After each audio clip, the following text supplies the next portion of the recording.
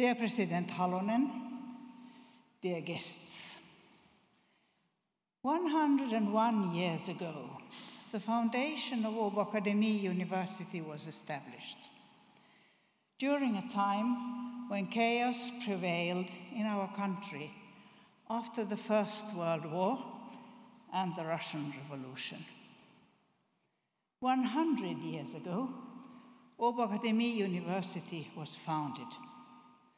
Among other things, the idea was that the university should guarantee young Finland Swedes education in order to be able to keep the Finnish society in two languages and in order to stabilize a disorderly town, Turku, and to offer educated experts to industry and business when rebuilding the country after the First World War and our Civil War. 99 years ago, our work really started, and the student corps of Åbo Akademi University could start its work. At the Finnish universities, we are requested to do research and to give education based on research. Until now, both the Department of Culture and Education in Helsinki and the universities prioritized research. Certainly, this happened at the expense of education, of teaching, which was reduced to a kind of secondary activity. However, it's our task not only to do research and to educate, but also to foster, to foster young people. We can read the university law, the second paragraph. I quote, and to educate students to serve their country and humanity at large. End of quote. Human beings are fostered all through their lives. But a stable value system is alpha and omega if we want education and fostering to be a success. We shall foster young people to serve two great entities our own country. We could ask who is allowed to live in our country? And humanity and we could ask who is allowed to live, who is not allowed to live. How should we let people live in our country? And now the crucial question comes where do the universities fit in here? As assistants of the industry, as the support, supporters of the of the politicians, as representatives of a disengaged critic of the society, or as educators of revolutionary rabble rousers. In order to start answering these kind of questions, and due to our 100th anniversary, we call for a discussion with experienced and reflecting people who have views and visions, but also a feeling of what is feasible and realistic. Today, Dan Lolax, a journalist at the local newspaper Åbo Underrättelser, uh, and a reflecting critic of our society of today, will lead our discussion. I wish you cordially welcome on behalf of Åbo Akademi University.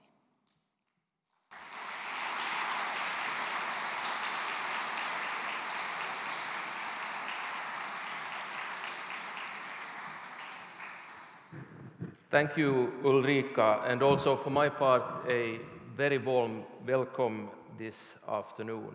Um, now, my job here today is, uh, besides maybe asking a few questions, just to try and stay out of the way, because uh, we have six panelists who are, I'm sure, eager to get on with their presentations and then take part of the following discussion. So let's get to it. Um, the first introduction will be made by Marian Abdul Karim. She is a freelance writer, columnist, activist, and also co author of a recent book uh, that's called Around 10 Myths About Feminism. Maryan, very welcome.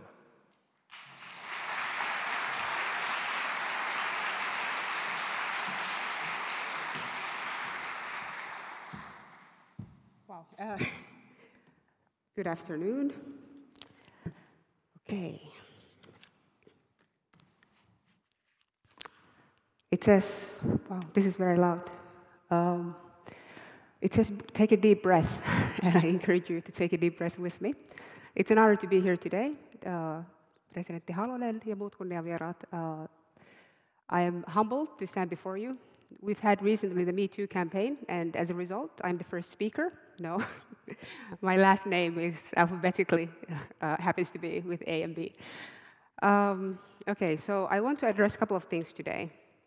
And, uh, well, Ulrika mentioned being realistic, and I think some of these might be realistic, some of them are perhaps uh, might be deemed from this today's perspective to be less realistic. I think we live in a society where we are in an, uh, in an escalating level doing things on a more rapid pace. And by this I mean that the working life has become more hectic, and that means that our thinking has become more hectic, policy making has become more hectic. We seem to be living in this kind of constant, um, constant race with our thoughts, but also with the society around us. And when the policymakers, when our governments, those in positions of power are kind of signaling that now we have to hurry and we have to do this in a hasty way, then that kind of pushes the society also to kind of like think on our feet and be also as rapid in our uh, comebacks. And of course, it's unnecessary to say that this does not always lead to good results because in order to have lasting impact and in order to truly have policies that will cater to us also in the future, we need to be able to sit back, think, as Mauno Koivisto used to say, funderata a bit, to think about things instead of just rushing from one phenomena to the other. So in a sense, I think one of today's uh, phenomena that I find very alarming as an activist, as a writer, as a parent, as a member of the society, is the panic mode in which we seem to be operating a lot of the times. And now I will go to the concerns that I have regarding today before I move on to the visions for the future and how I think it could be.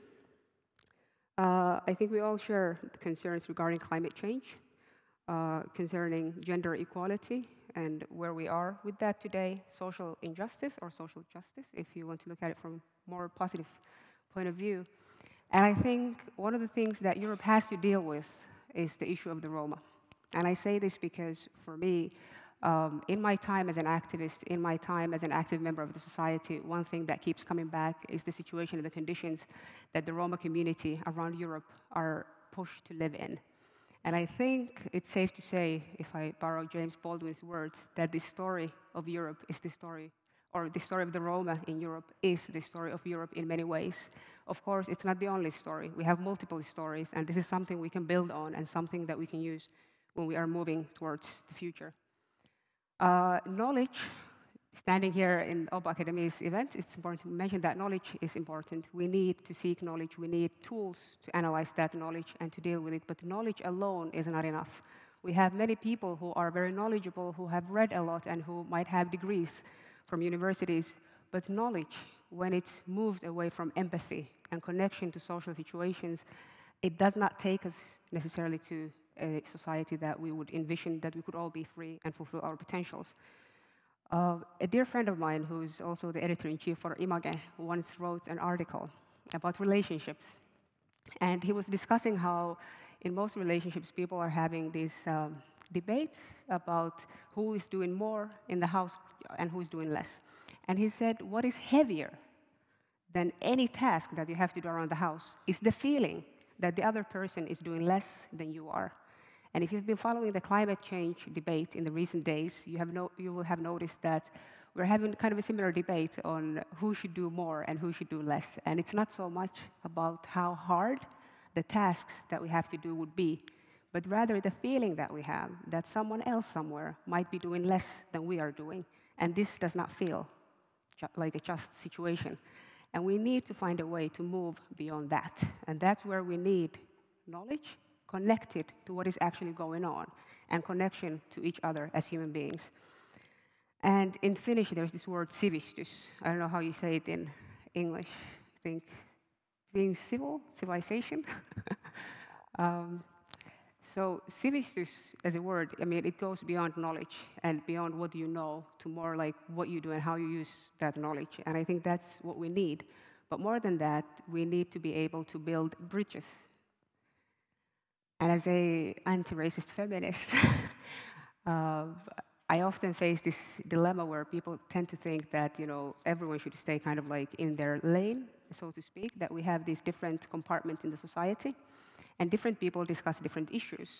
But we have polarization arising in our societies and in our communities. And if we are not able to sit back, funderata, and find ways to build bridges to one another, to different communities, I think the future might not be as good as we would want it to be because the truth is, uh, for me, feminism is the tool, and it, it works for me, and I believe in that call.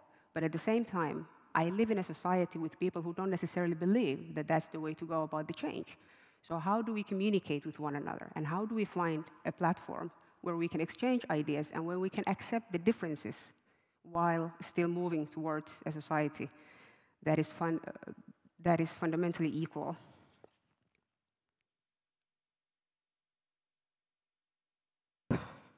So, a few words about the future. uh, I think the future, uh, well, 100 years from today, because this is the task that I was given to kind of think what the world would look like, or at least Finland, 100 years from today. And the, the situations that we see in Finland, but also around Europe, is quite alarming on many different levels. But that doesn't mean that we should be in a state of panic and think that nothing can be done. We are all doomed to lose. Because we can do many things. And if the actions that we take today, the histories that we create today, reflect on that future and where we can be, I believe that we can live in a more um, just, knowledgeable, and equal society. And I don't have this image in my head that 100 years from today, cars will be flying around and you know you just think of a thought and suddenly you will have someone catering to every need that you have.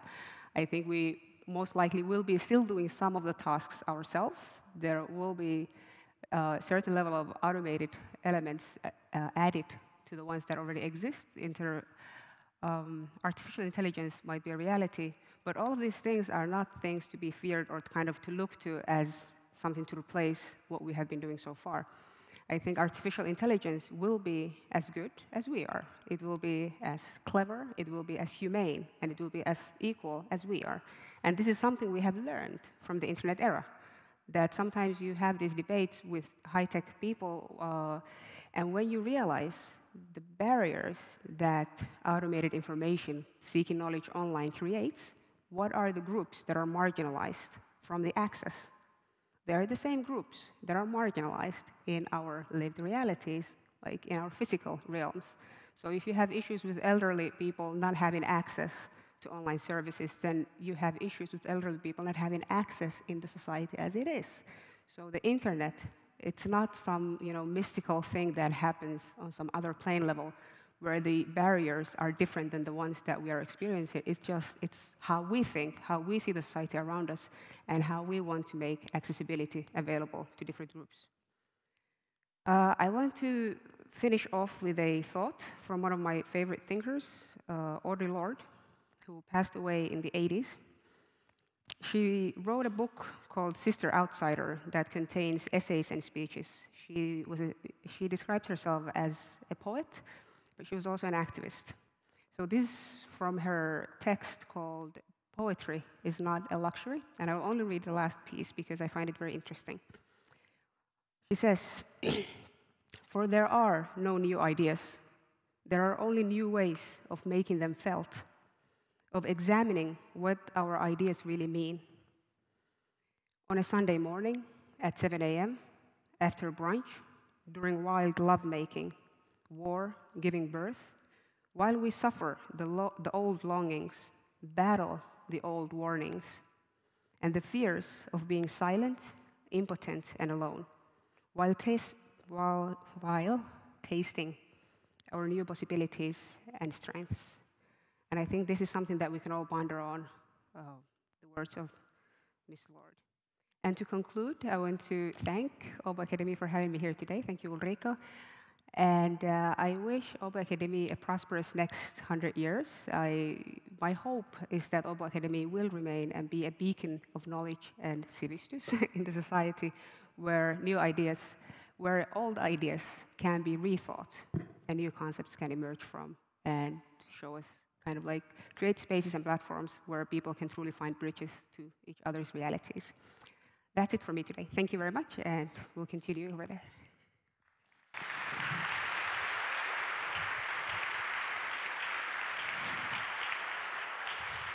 Thank you. Thank you, Marianne. We're off to a great start. And just an announcement to you and the other panelists. I'm told that the apples are not for eating. There is for something that comes later, so just, just so you know. Uh, now to our next speaker. He's actually born here in Åbo, but nowadays I guess just travels through the city mostly when he's on his way to his summer cottage. He is the governor of Sveriges Riksbank, that is the central bank of Sweden, and among other things, he chairs the Basel Committee on banking supervision. And he is also honorary doctor, dare I say, at Hanken School of Economics in Helsingfors. Very welcome, Stefan Ingves.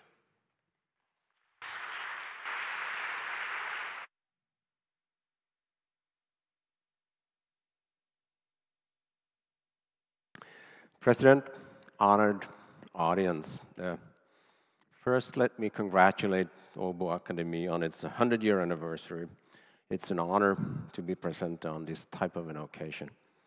It's also a privilege on my side from a more uh, personal perspective, and let me explain to you why. As was said, I was born here. My father studied economics at Åbo Academy, and he was the treasurer of the student union, and my mother ran the restaurant. So I grew up listening to stories about what student life was like in what many of you would call the old days. It also so happens that I have lived a few years in Vasa, where you have your other location. And I have traveled Highway 8 between Åbo and Vasa for 65 years. So it took a long time, but with this perspective, I'm home. Now, to today's topic, let me start way back. Say 250 years ago, this part of Europe was poor compared to many other parts of Europe. Not so today, not so today at all. Today, the Nordic countries belong to the most orderly, not corrupt, and wealthiest, with the most reasonable living conditions in the world.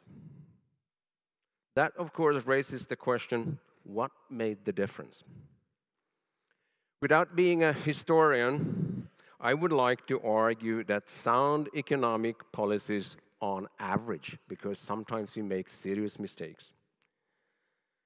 Openness to trade, the rule of law, an open mind and acceptance of change.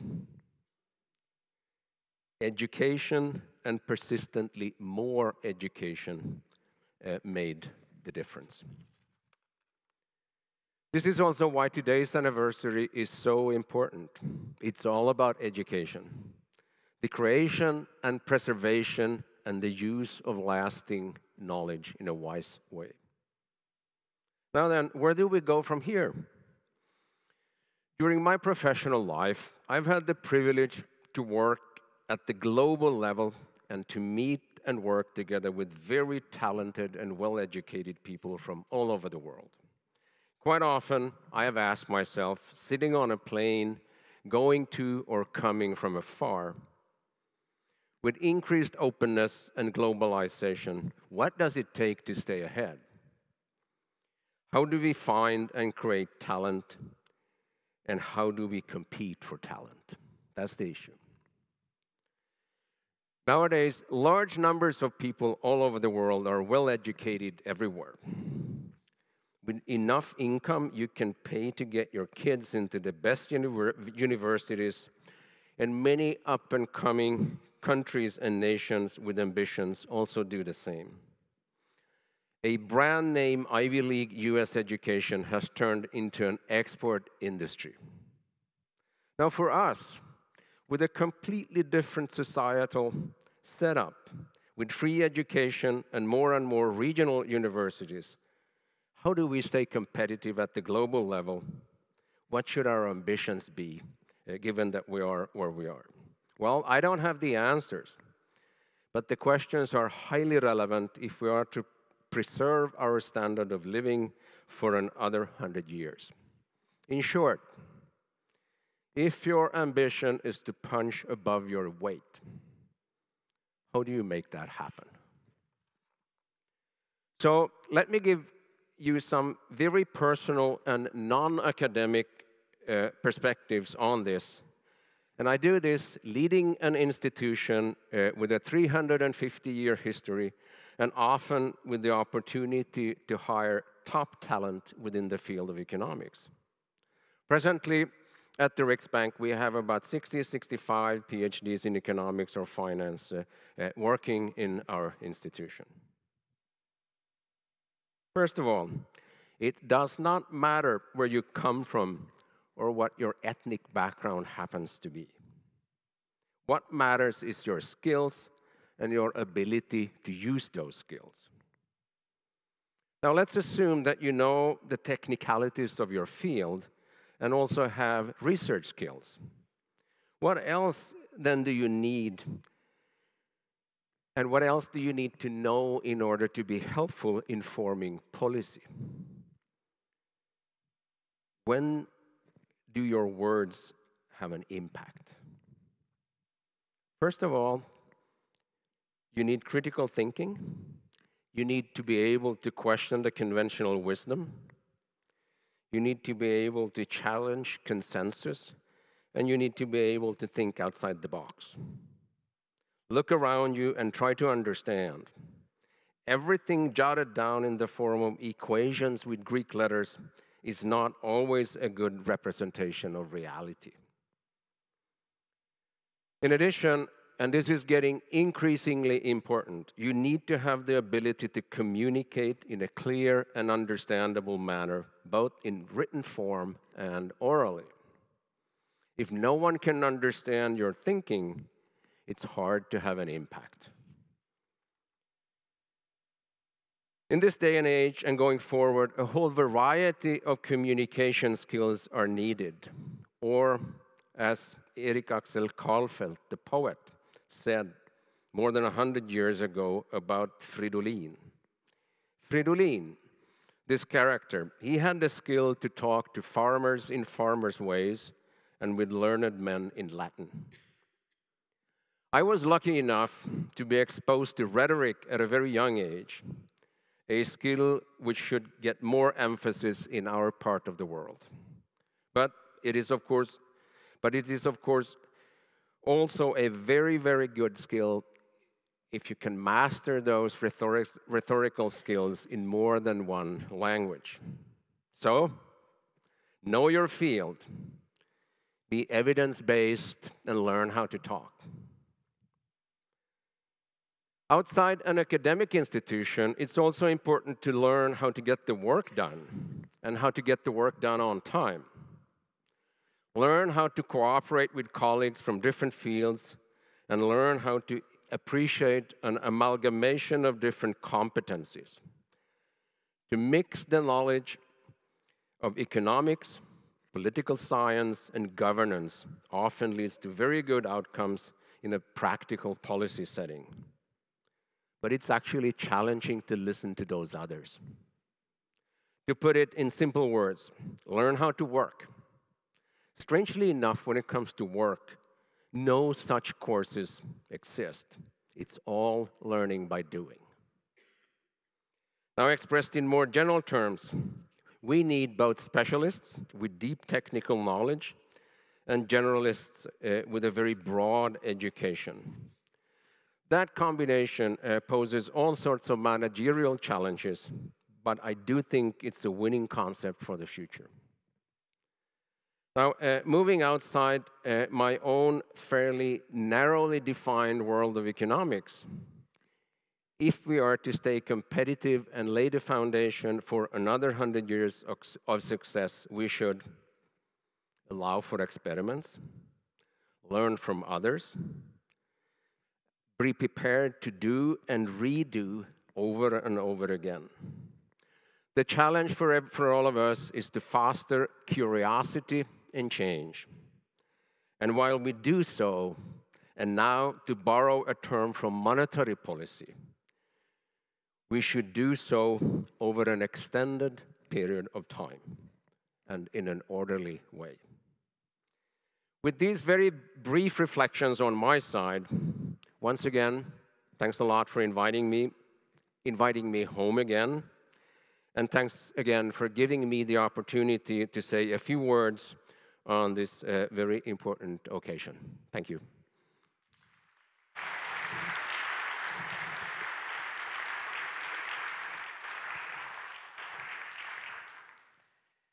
Thank you, Stefan. Uh, we're off to a great start, so let's keep going. Uh, our next speaker is the leader of the Left Alliance and a member of the Finnish Parliament. She's also a city councillor right here in Åbo and a former chair of her party's youth organization. And she has co-authored two books. Li Andersson, very welcome.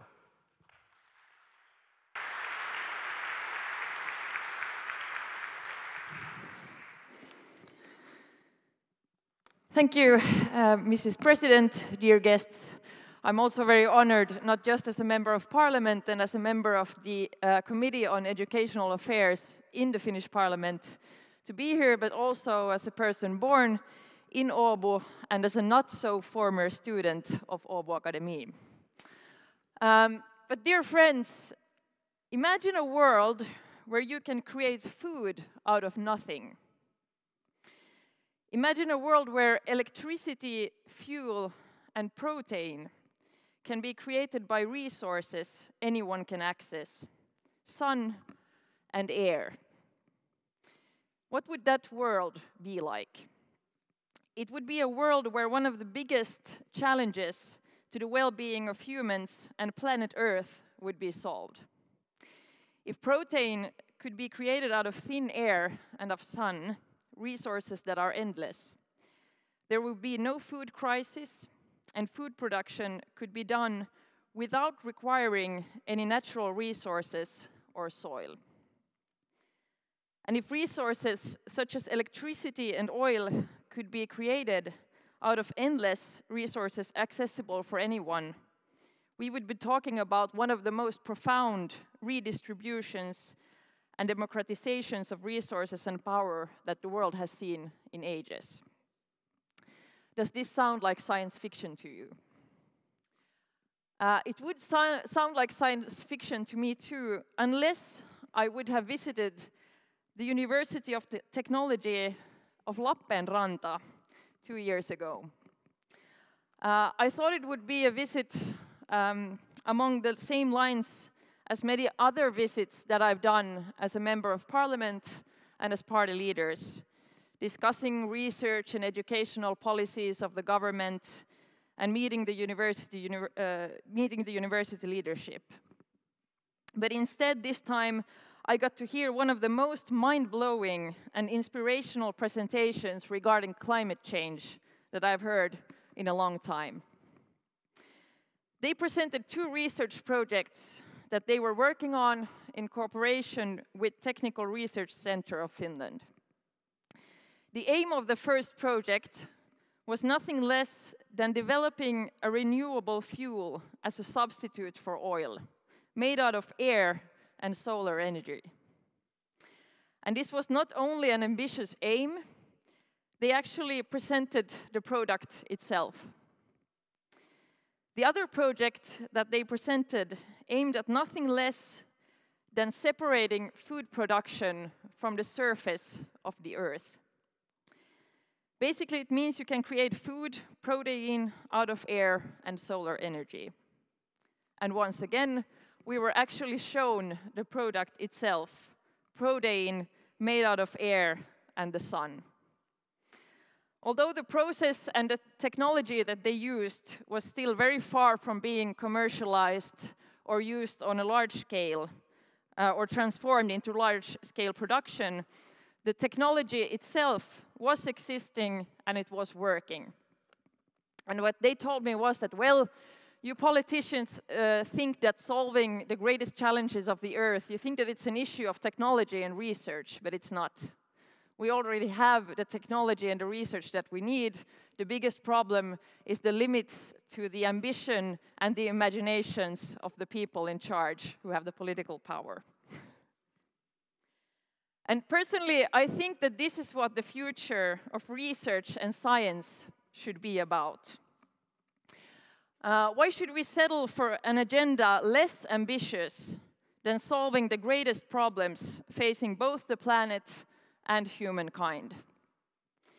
The whole world is facing enormous challenges due to climate change, due to the rapid decrease in biodiversity, the fast development of technology and artificial intelligence, and changes in both political and economic global power relations. At a time when prime ministers and presidents in way too many countries ironicize at academics and mistake opinions for facts. The first thing that needs to be uh, stated about the future of science is that there is no future without science. The future of the world and the future of, the, of humankind is dependent on research, is dependent on innovations, helping us understand the complex issues that we face, and hopefully also helping us solve them. For this type of research to be made, we need a model of governance for universities that ensures academic freedom and academic independence.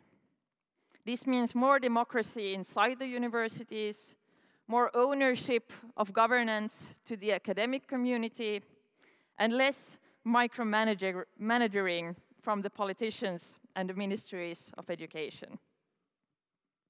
We also need university funding which is stable and enables both applied research and long-term research that doesn't necessarily produce the type of short-term results and applications that politicians and bureaucrats alike seem to be chasing. Hopefully, more stable and more long-term funding will also create more stable and long-term jobs because there can be no great research without the great minds of the researchers. But the future of the universities and the future of research and science will also be affected by the changes in the labor market and in labor itself. The fast development of automatization and artificial intelligence is often called the fourth industrial revolution. Uh, as Maryan Abdulkarim earlier said, nobody knows if we will see flying cars uh, in a few decades, and nobody can tell for sure how big this change will be and to what extent it will affect different jobs and the general amount of labor. In the wildest scenarios that I have heard, uh, a big part of our labor is expected to be replaced by algorithms and robots, which would change the whole social landscape and means of uh, income distribution in a large part of the world. In these scenarios, science, education, and creativity becomes the most central part of production, since it's something that we can't automatize. If machines take care of manual work, we can all concentrate on knowledge production, learning, and empathy. This would mean much bigger funds and resources being directed to knowledge, research, and education. But it's worth noting that even in the more modest future scenarios, the predictions is that knowledge requirement will, requirements will rise in all parts of the labor market and in all jobs. This means that everyone needs to know more. And everyone needs to learn not just while formally educating themselves, but throughout their lives and throughout their careers. Lifelong learning has been a familiar educational concept since the 80s, but very few actual reforms has been made to create a society where continuous learning and continuous, continuous education uh, really is possible for everyone. At this moment, education is concentrated to formal degrees and to those already educated. In Finland, participation in adult education at the moment is at the lowest among male workers with no or little education. Finland is also the only country in Europe where the share of people graduating from universities hasn't risen between 2008 and 2016. I think the future of knowledge is one where education isn't as linked to formal degrees as it is at this moment. We will have opportunities to take separate courses at different educational levels, to train and learn certain specific skills according to our individual needs and according to our individual will. But the biggest challenge will remain the same as it is today, how can we build a system of education so equal that education will be a strong weapon to fight inequality instead of a structure upholding it? Thank you.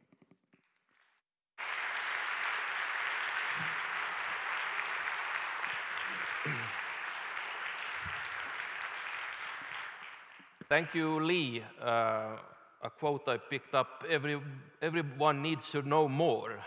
Uh, that's a motto to, to follow, I think. Um, all right, let's move on. Uh, our next speaker uh, actually held the chair of uh, management and organization here at Åbo Academy, and then he left, but let's not hold that against him. Uh, he is now the professor of innovation, design, and management at the University of Southern Denmark, and uh, he is also the author of several books and uh, speaker at um, many engagements as this one. Alf Rehn, Professor Alf Rehn, please welcome.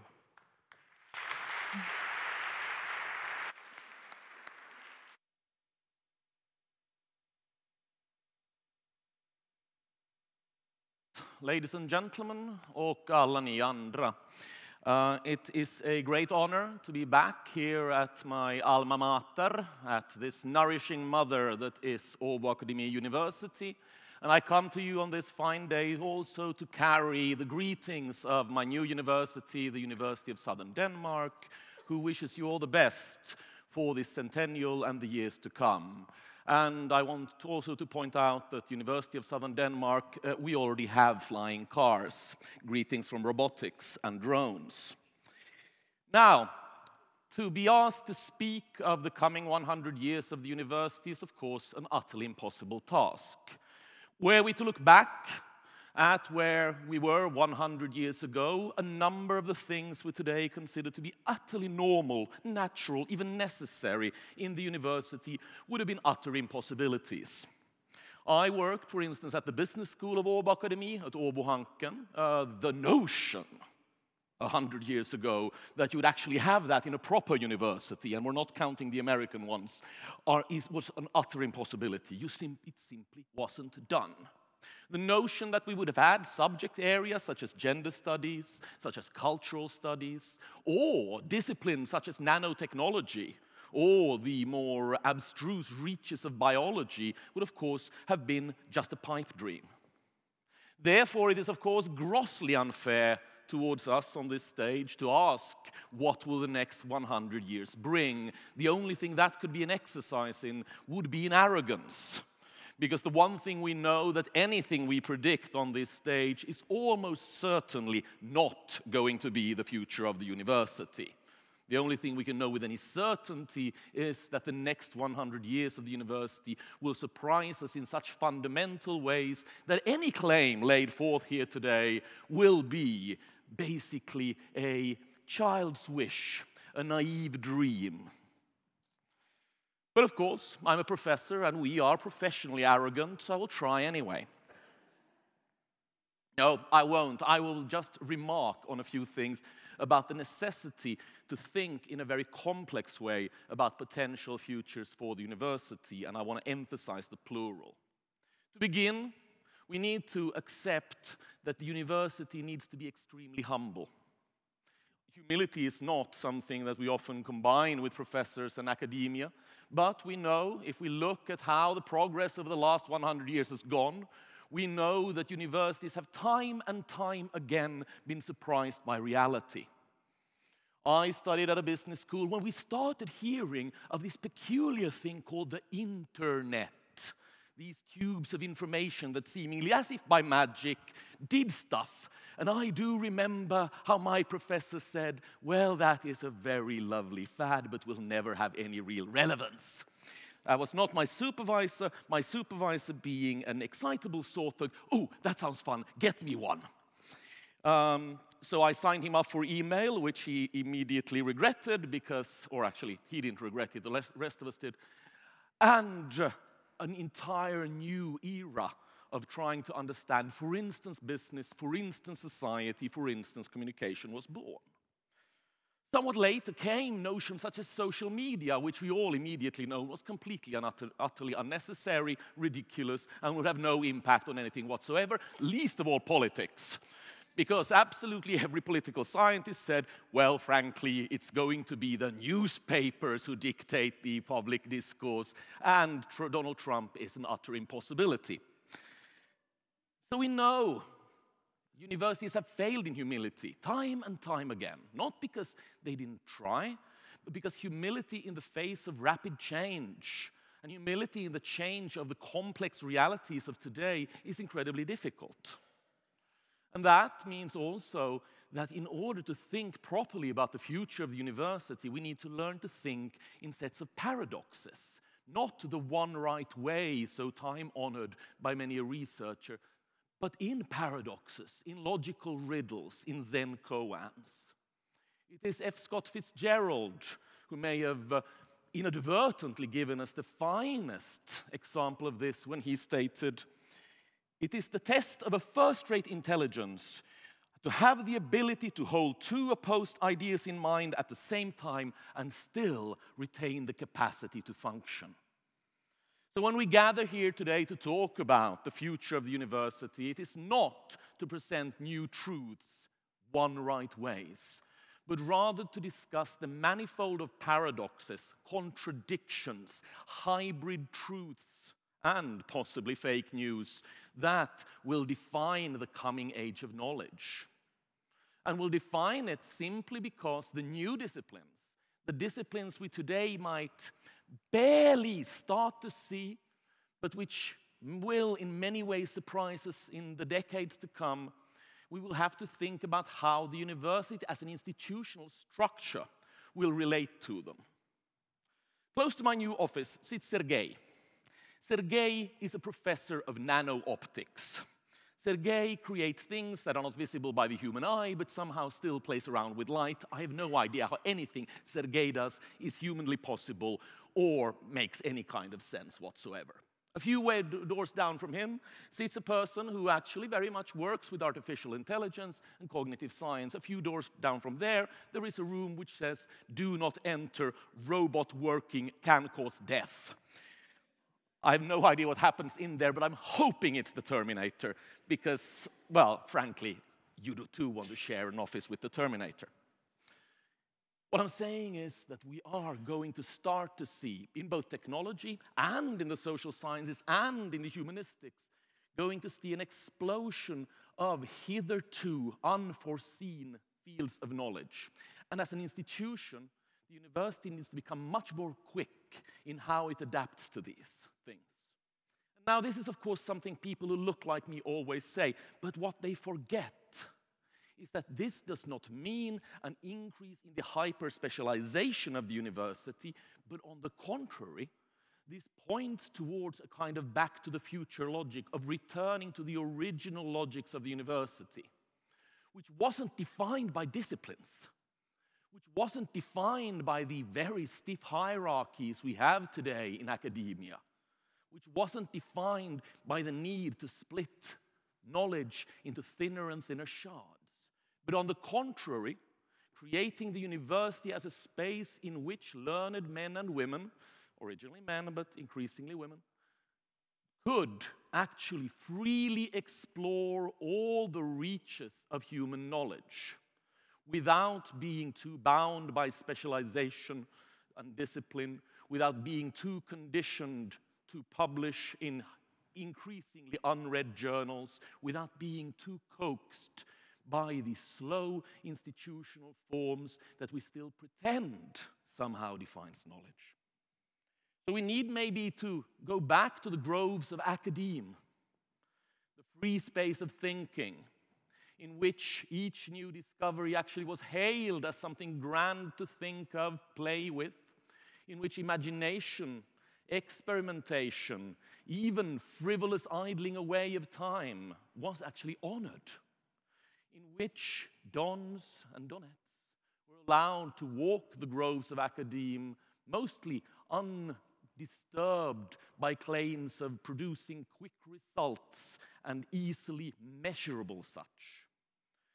Instead, they, our ancestors, those who came before us, just loved truth and knowledge and beauty, explored it not caring whether they ended up in paradox or in challenging places, in which you could take a break simply to think very hard about some new thing for a couple of years.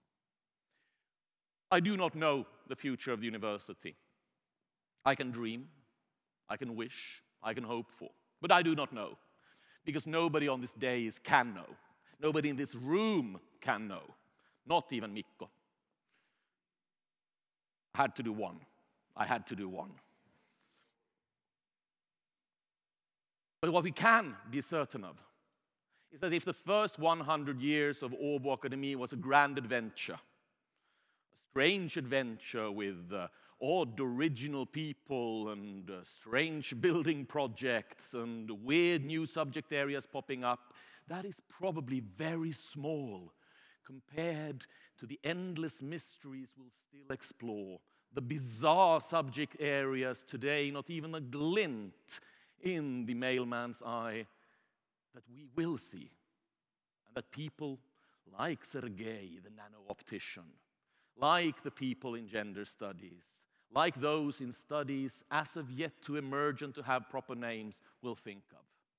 It's going to be a wild ride, and the only thing we need to remember when embarking upon it is the need for us and for the university of humility and being able to think the paradox.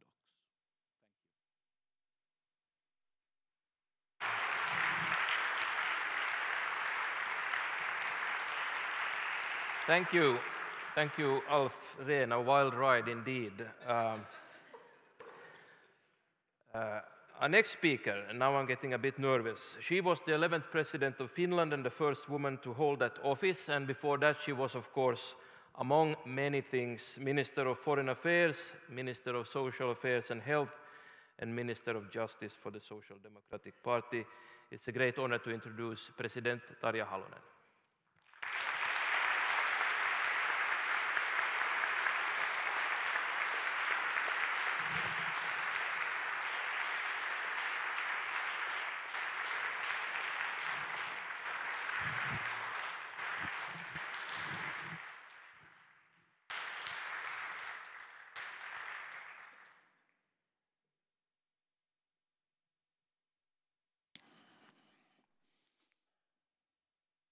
I look at them, they look wonderful.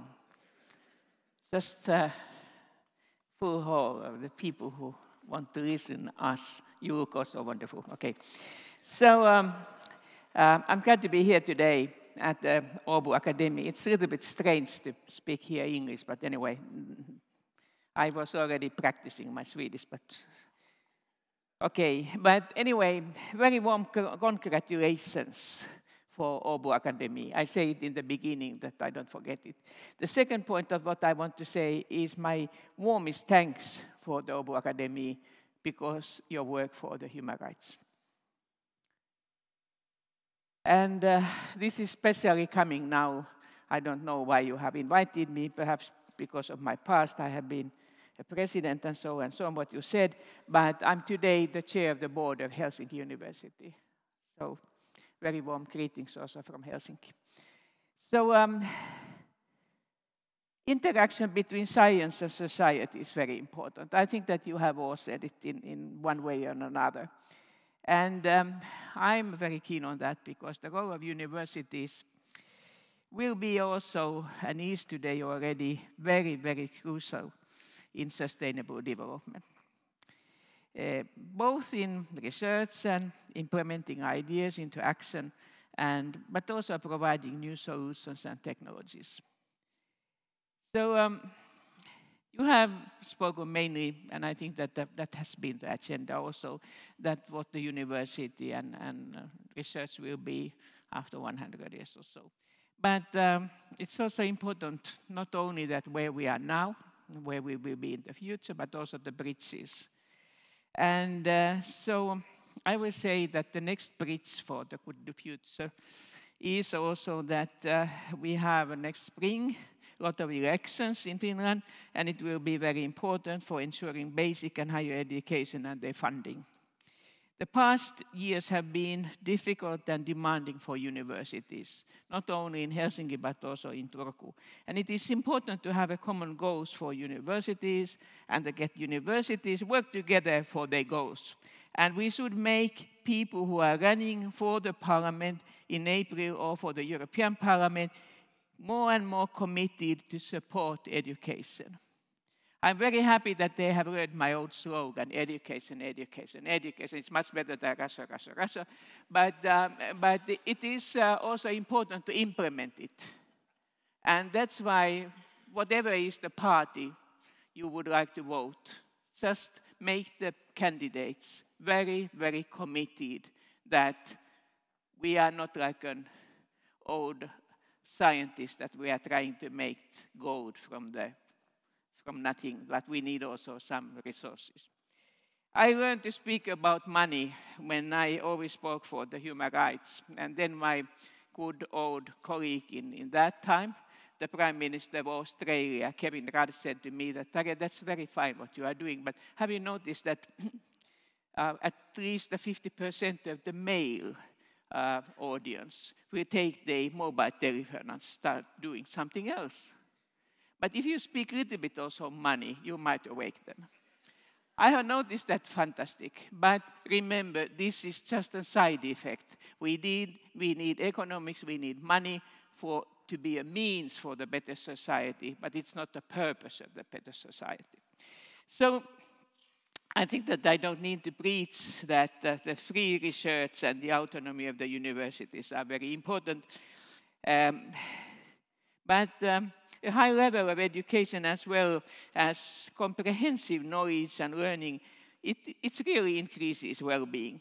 Uh, this also provides the basis for the active citizenship, what I consider that it is very, very important in modern societies all over the world, but also in Europe, also in USA. And education helps also address global challenges and also why not? It also contributes our own motherland, Finland. So um, top-level basic research is needed to produce true innovations and sustainable solutions. But sometimes it's good to study and think about the, such kind of the issues what perhaps are not directly changed to the innovations. So even being independent universities in the future should live in close relation with society in order to be uh, able to make their own decisions about uh, the uh, essence of the activities. So the, I agree what you said. Universities and scientists and teachers, they should be curious and able to take risks in research. I always take an example of children. I think that most of you either are the mothers or fathers or have been or will be. And when you look at the, just the very newborn baby, how intensively the baby will learn to turn or to, uh, to, to get to learn to walk or to speak. And so, with this intensity, we should keep the curiosity in our life. I don't know what we do, the parents and grandparents and education system, but somehow people become much more passive. We should, in all possible ways, also to wake up it again, because always a majority of the people, the population in Finland and in our other countries, we have an old-fashioned education. And I always say for the younger generation, it will happen with you much, much faster than what it happened with us. So you have to be prepared for the lifelong learning, but you don't need to sit at the schools or the universities all your life. But learning, that's important. And to be curious, to make a stupid questions, like my smallest grandchild, not a very, very smart little lady, uh, four years old. She looks at me and says that, why? Why, mummy? Sometimes she says mummy because it doesn't make the difference, but why? Why? And then I try to, to learn to answer to that.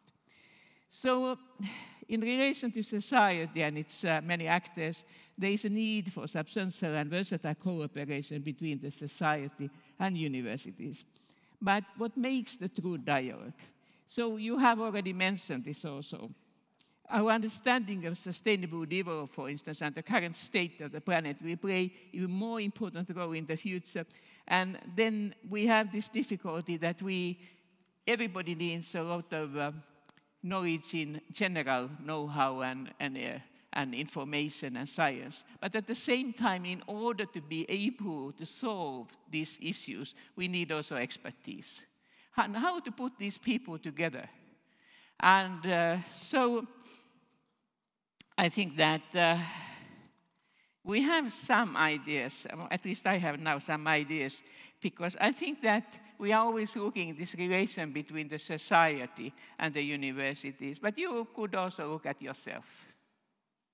I know that we have, we have done this horizontal, horizontal new uh, working points, and, and we try to improve this kind of the connection.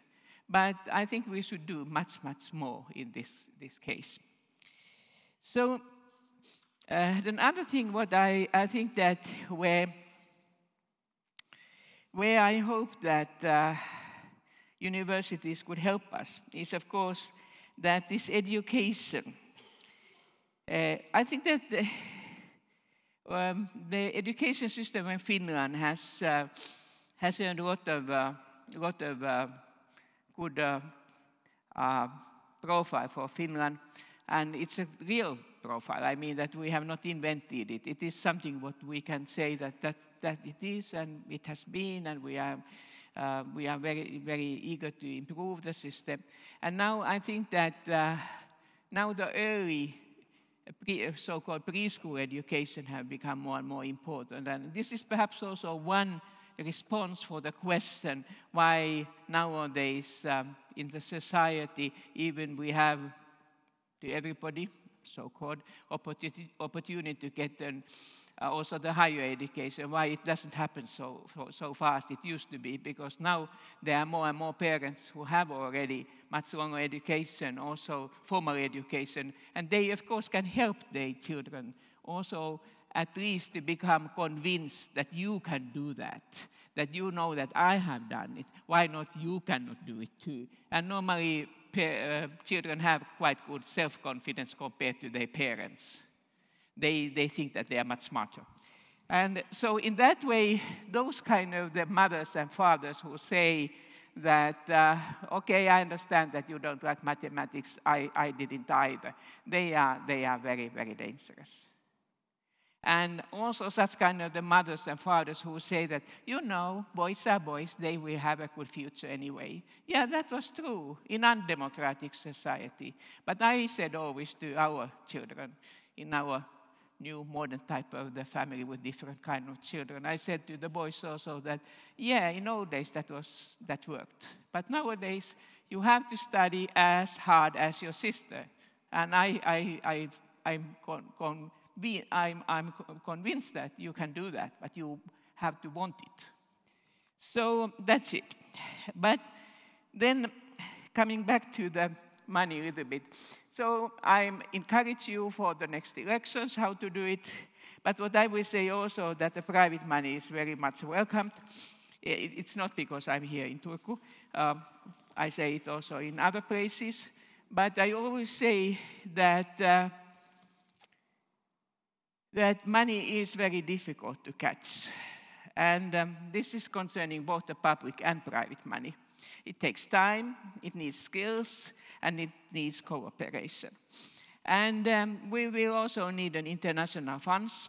And it would be good for Finland to strengthen the profile of the quality-driven basic research and research-based innovations in the EU budget and operations. Money is, as I said, it's difficult to catch, but it is still something we can do.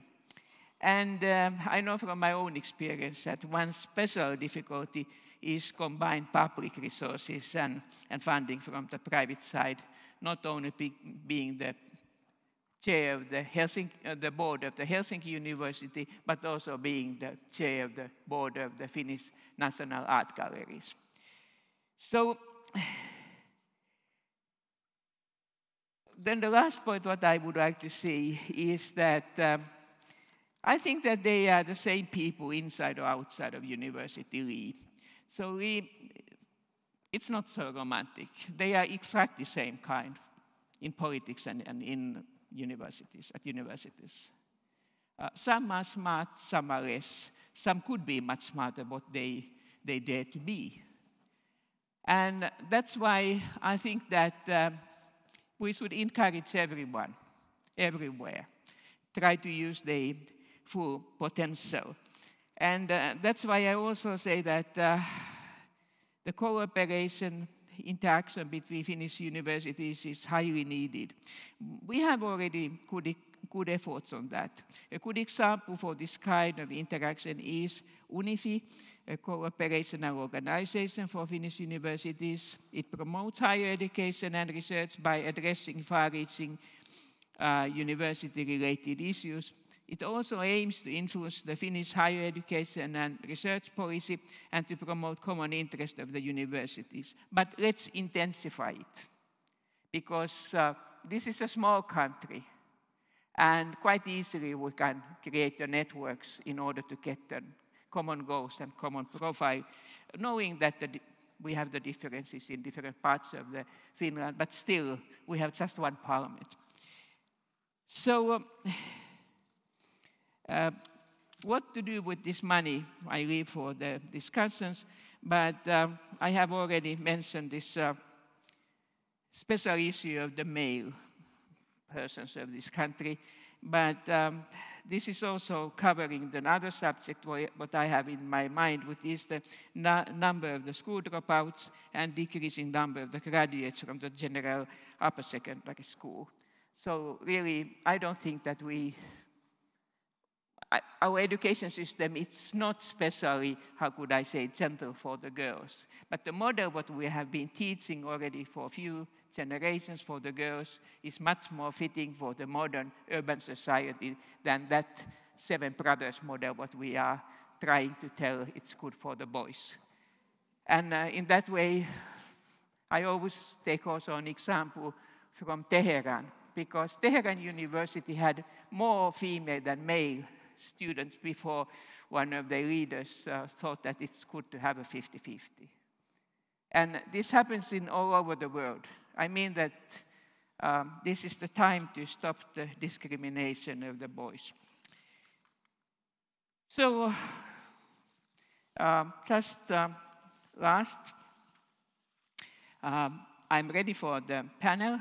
I don't feel my, myself very much academic, but uh, I know that I always speak about the sustainable development, and uh, that's I'm ready to do also here. But everything else, what might be the honorable moderator, come with you here. And uh, just the last point is that we need remember that years spent at the university are also years spent learning to live in our society and becoming its skillful members, in skillful active members so I know that in many of our universities, the length of the studies is important, but I would only underline the issue that it's not the only issue.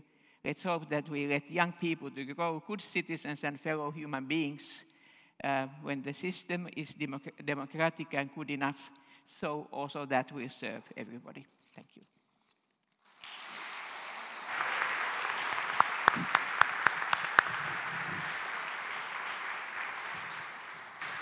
Thank you. Thank you very much, President Tarja Halonen. Can I get... Please, please.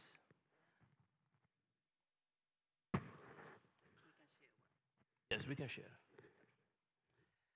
Right, and so for our last speaker, uh, who is from Sweden, uh, is a long-time journalist and the author of several books. He has won many awards, among them Stora Journalistpriset, and for his widely acclaimed book, A Brief Stop uh, on the Road from Auschwitz, the August Prize.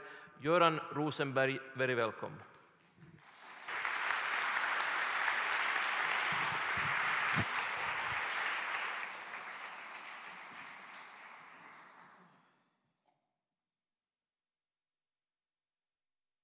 First of all, thank you so much for inviting me. It was uh, a great surprise to me, and I hope it uh, is a great surprise to you as well.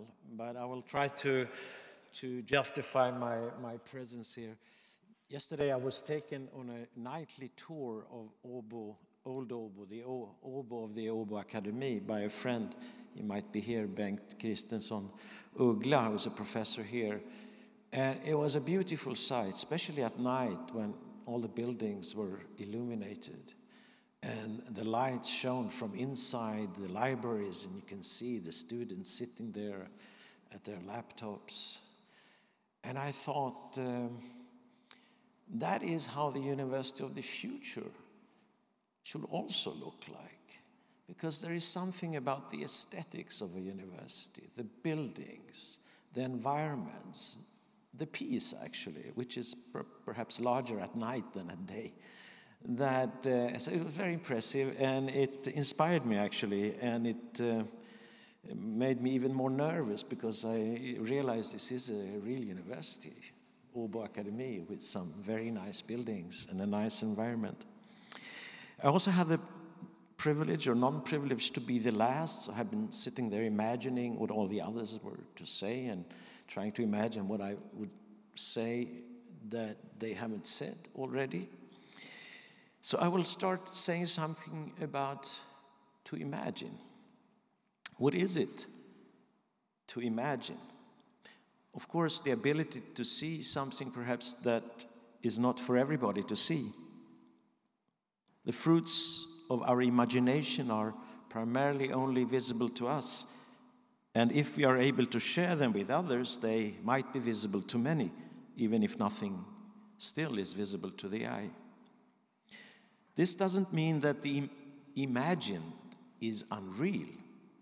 If many people act upon what they imagine, well, if even one person act, act upon what he or she imagines, then the consequences might be very material and very hard, and they can be li life and death and war and peace, and you can hit your head in the wall. And it can make the difference between civilization and barbarism, imagination.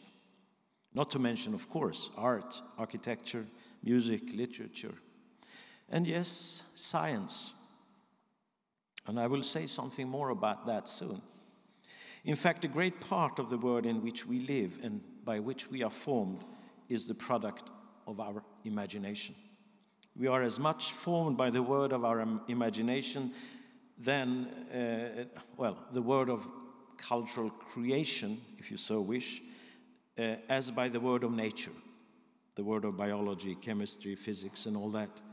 The state of nature is not a human state of being, to say it provocatively.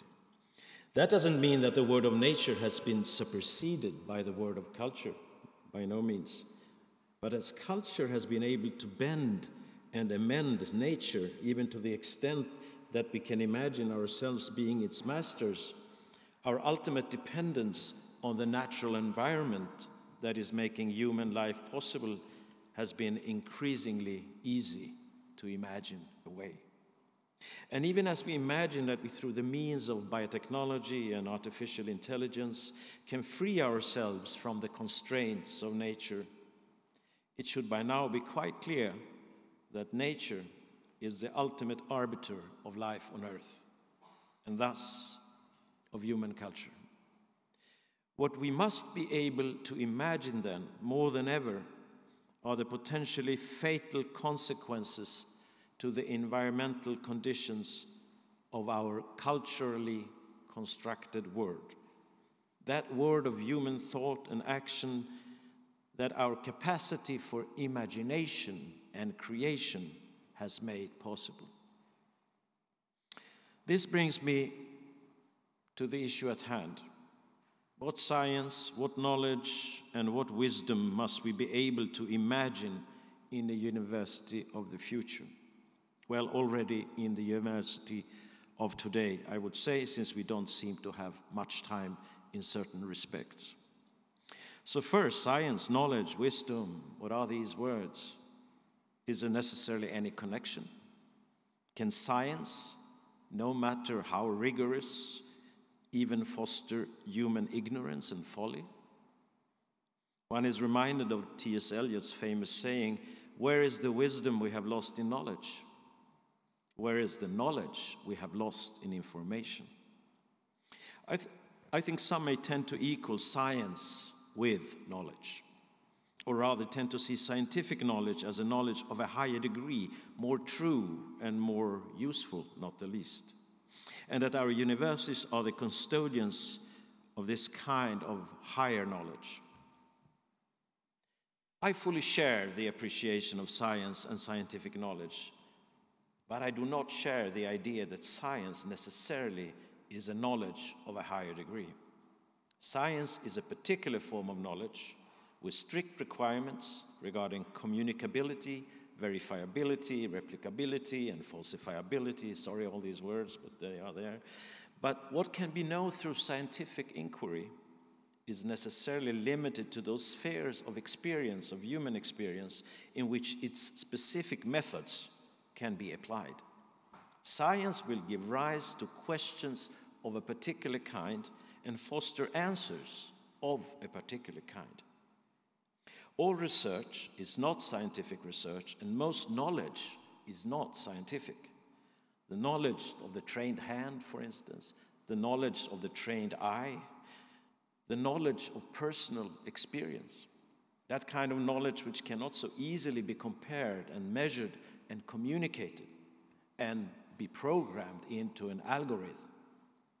In fact, I fear that with the development of artificial intelligence and the capacity to put things into algorithm will again make that kind of knowledge a higher kind of knowledge, while knowledge that is not possible to make an algorithm out of will be deemed lesser knowledge, which is, which is a great mistake. Not to mention the fact that if the artificial intelligence robots take over, they will know so little about it is what it means to be a human being. Well, they might not need human beings, but as long as we are here, we would like to have them, human beings. Science is an important and very powerful tool for knowing particular things, and uh, its findings, as we know and as we have heard, have revolutionized so many things and will still revolutionize many things, and is really a necessary way a necessary tool. But it's only uh, one of many tools and languages employed by mankind in its incessant need to imagine and understand and the world in which we live and understand ourselves in this world. Science can only explore that which is accessible to scientific inquiry. So, the first thing I wish to say about the University of the Future that is that I wish we should be able to imagine in that university a science that again sees itself as an act of human imagination, primarily. That again sees itself as part of what we call the humanities, to that broader quest for exploring and understanding the human condition and the place of humans in this world, which was why universities came into being in the first place. This means that we must also be able to imagine a sphere of knowledge and of human experience that cannot be understood through the methods of science or natural science, perhaps to be more precise. This is, in fact, the kind of knowledge that make up for the larger part of what we know, not to mention what we don't know. And what we don't know is infinitely more than what we know and will ever be so. The question of human meaning, has, of course, no scientific answer. Neither has the question of human value or moral responsibility. Some may argue that questions of this kind are not the business of the university, since they don't have any definite answers, and that knowledge that is not measurable and computable and not evidence based, as it's said now, is a knowledge of a lesser value.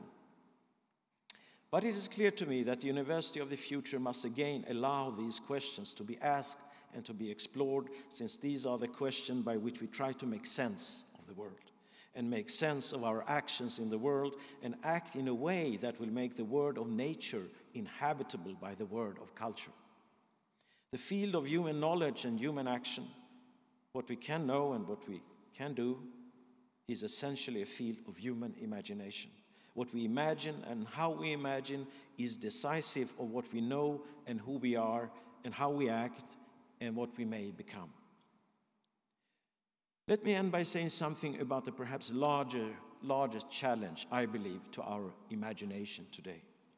That is to be able to imagine what the new means and tools of communication, and that has been mentioned already, of course, can do to our ability to know and value the difference between truthfulness and deceit, between the honest exploration of the world, of the, of, of the quest for knowledge, and the conscious abuse and distortion of knowledge where truthfulness succumbs to delusion and lies, radical ideologies easily fill the space.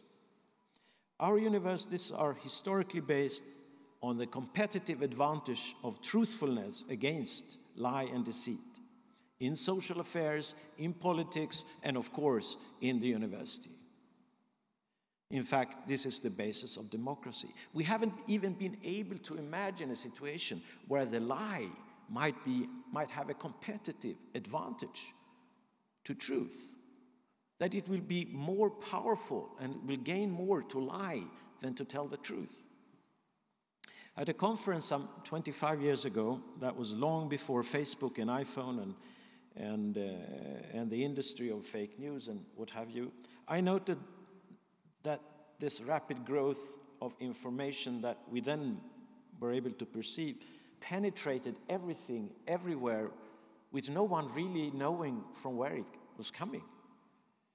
Our image, uh, uh and, and, and uh, once it was disseminated out there, it could never be recalled. It was out there. Lies were lying there forever as anything else. Our image of reality, the experience of our senses, in increasingly was an increasingly uh, way being, being uh, transformed into the experience of representations and of representations of representations. Direct sensory experience lost its value even more, with some sensory capacities perhaps of ours now withering away because we don't use them. Computer technology permits people to meet other people's construction or programming conceptions of the world, not the sensory world as such.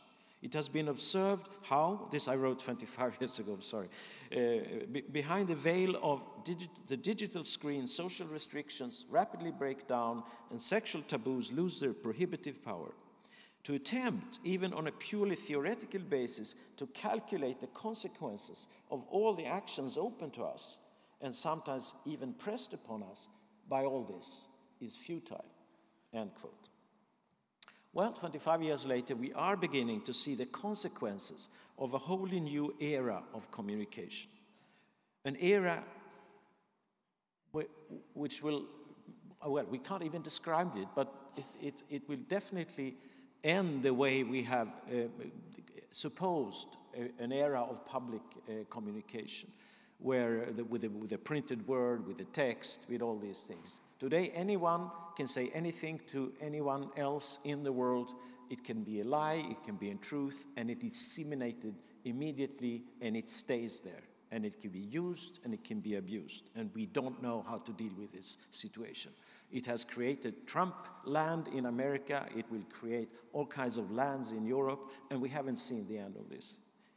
So, what I would say at the end is as a task for the University of the Future. How can we again make truthfulness or the commitment to truthfulness compete with the increasing power of lies and propaganda?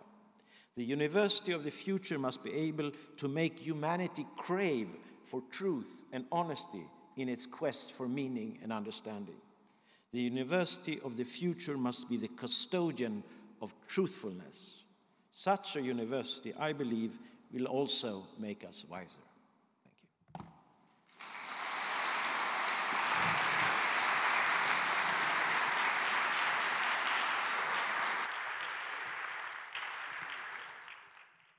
All right, and while Göran is getting a new headset, let me just say, boy, where do we start from here? There's a lot to discuss. Um, there was talk about imagination, of course, and also curiosity, and uh, um, also not micromanaging uh, universities. So let's start like this. Um, if we don't know what the future brings, we have to commit to some guiding principle for the universities. Now, who should put forth this principle? Who should say to the universities, this is what you should aim for, or should anybody? Um, who wants to chip in first? I mean, how independent should the universities be to actually fulfill their role in society? The point of the university uh, was, well, in order to obviously to uh, teach Latin, which we are sadly have forgotten, uh, but uh, to be a free space, sacrilegious space even, a space in which you could uh, talk ill of kings and uh, uh, talk down to the priesthood. And that is actually what created science, proper science, proper research, utter freedom. No principle of guidance, no notion that there was somebody who could tell you what would be the sensible way forward. And I think that that is, of course, we romanticize the future of the, the university because we, we kind of, I think, academics hark back to that glorious time. But uh, the truth is, we, the future of the university might still might be become one of uh, basically ordered research. Do this, achieve these tasks, tick these boxes. We obviously, on a stage like this, will romanticize the future. But uh, the dark future, the taboo future of the university is just as likely as these beautiful dreams we may have presented. President. Yeah, I think so that um, there is a certain right for the universities to keep the autonomy like it has been because uh, even the science and, uh, and universities, as I already said to, to my friend Li, they are the similar persons like what we have in the politics or other parts of the society. But um, it's also experience from the harmful combinations of stronger connection between the society and the university so that uh, we should say that if, if the planet Earth is not the center of the university, so, so we, universal system, so should be the freedom to say that. And, and so um, this is one thing, but then you mentioned the imagination. So I come always back to my, uh, my favorite idea, what I have learned during the recent years, is that when we have two sides of the brains and uh, we know people are using one side or another side more or less, so that we need also the bridges between the, the, the, these two parts, left and right. And I normally I'm provocating men and say that they have less these bridges what the women have, but they are very happy with the amount of the bridges they have. But, um, but in the matter of fact, um, we have not spoken too much about uh, emotions and feelings here today. Some of you mentioned it already. But um, when we have tried to uh, get better system analysis in sustainable development, we notice that even people have a lot of uh, information, they have well educated, but there is a certain difference between um, learning and understanding. And one of these things is that uh, in, in Finnish, I think it's a very good word, oivallus, that you have to feel it, that it's, it's, it's okay, and then you learn it much, much, uh, much easier. And um, we should study also that what makes uh, very obvious things to understand, for instance, in sustainable development, what makes it so difficult to implement? Why, why the people don't really to, to implement it? What's, what's, the, what's the reason for that? Of course, everybody can say that, that um, it can also cause a very dangerous society, but I have always said that don't worry, the populists have already used it, that it's a time to use it in, in positive way, that uh, what, is, what are those blocks that people don't use, the imagination, what are those blocks that, that they don't want to learn more, um, what should make them more curious. But um, uh, there's only one limitation, what I say to, to the university. Uh, my, my limitation is that the human rights, the democratic principles and all that, uh, they should be also part of the university. But otherwise, just yalla yalla. Li Andersson and then Stefan Ingves. Yeah. Um, in a Finnish context, I think uh, that the discussion about what um, autonomy means for, for universities, the discussion, this discussion isn't finished. So there is no shared uh, concept between decision makers and universities about what the actual concept of academic autonomy in Finland means. Uh, and this could um, this gives birth to a very a situation with a lot of contradictions in terms of how governance is done, uh, in terms of how educational policy is done, where you're saying that yes, the universities have uh, autonomy in terms of governance, but then you have a lot of politicians with a lot of strong will in terms of what the educational system should create in terms of policy and society who are trying to micromanage uh, the universities through the financing model. And I think, I think this is a discussion that needs to be continued also, both on the side of academia and on the side of politics, what does this mean and which, in which direction do we want to go? And uh, my, my own opinion, if we compare to what Alf Rehn said about the original uh, form of university where learned men and women meet each other and talk and they are not in a hurry anywhere and they have the possibility to take a break for a few weeks to think about something. I would say that that's more the model we should go in, in the direction of at the moment where the issues and that are being researched and the, the, the problems that the world face are more and more complex. So if we really want to have science and research that uh, and researchers that have the possibilities to focus on these issues, then we can't micromanage them and say that you should do more and more publications and you should just concentrate in your own field of work because then we will get no research where the learned women and men meet each other just to think. It's like a wise, very wise friend of mine says, she says that boredom uh, is a condition for all creativity. Uh, so if you don't have the time to be bored in the university, how can you ever come up with any new, oh, any new thoughts bored. or innovations? we, we just get bored very quickly these days. so I, um, I think that the, now we're at the point where they are making reforms in the finance models every two years, um, maybe uh, exaggerating a little bit, but still it's reforms after reforms after reforms, and then you are making cuts in the finance at the same time.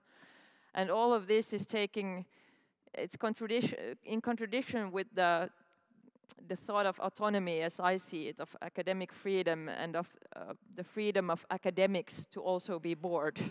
so that should be a guiding principle for the university. It's allowed to be bored. Yes. Boredom allowed. All right. Stefan Ingves. Well, um, I do think that we should really treasure the right to think.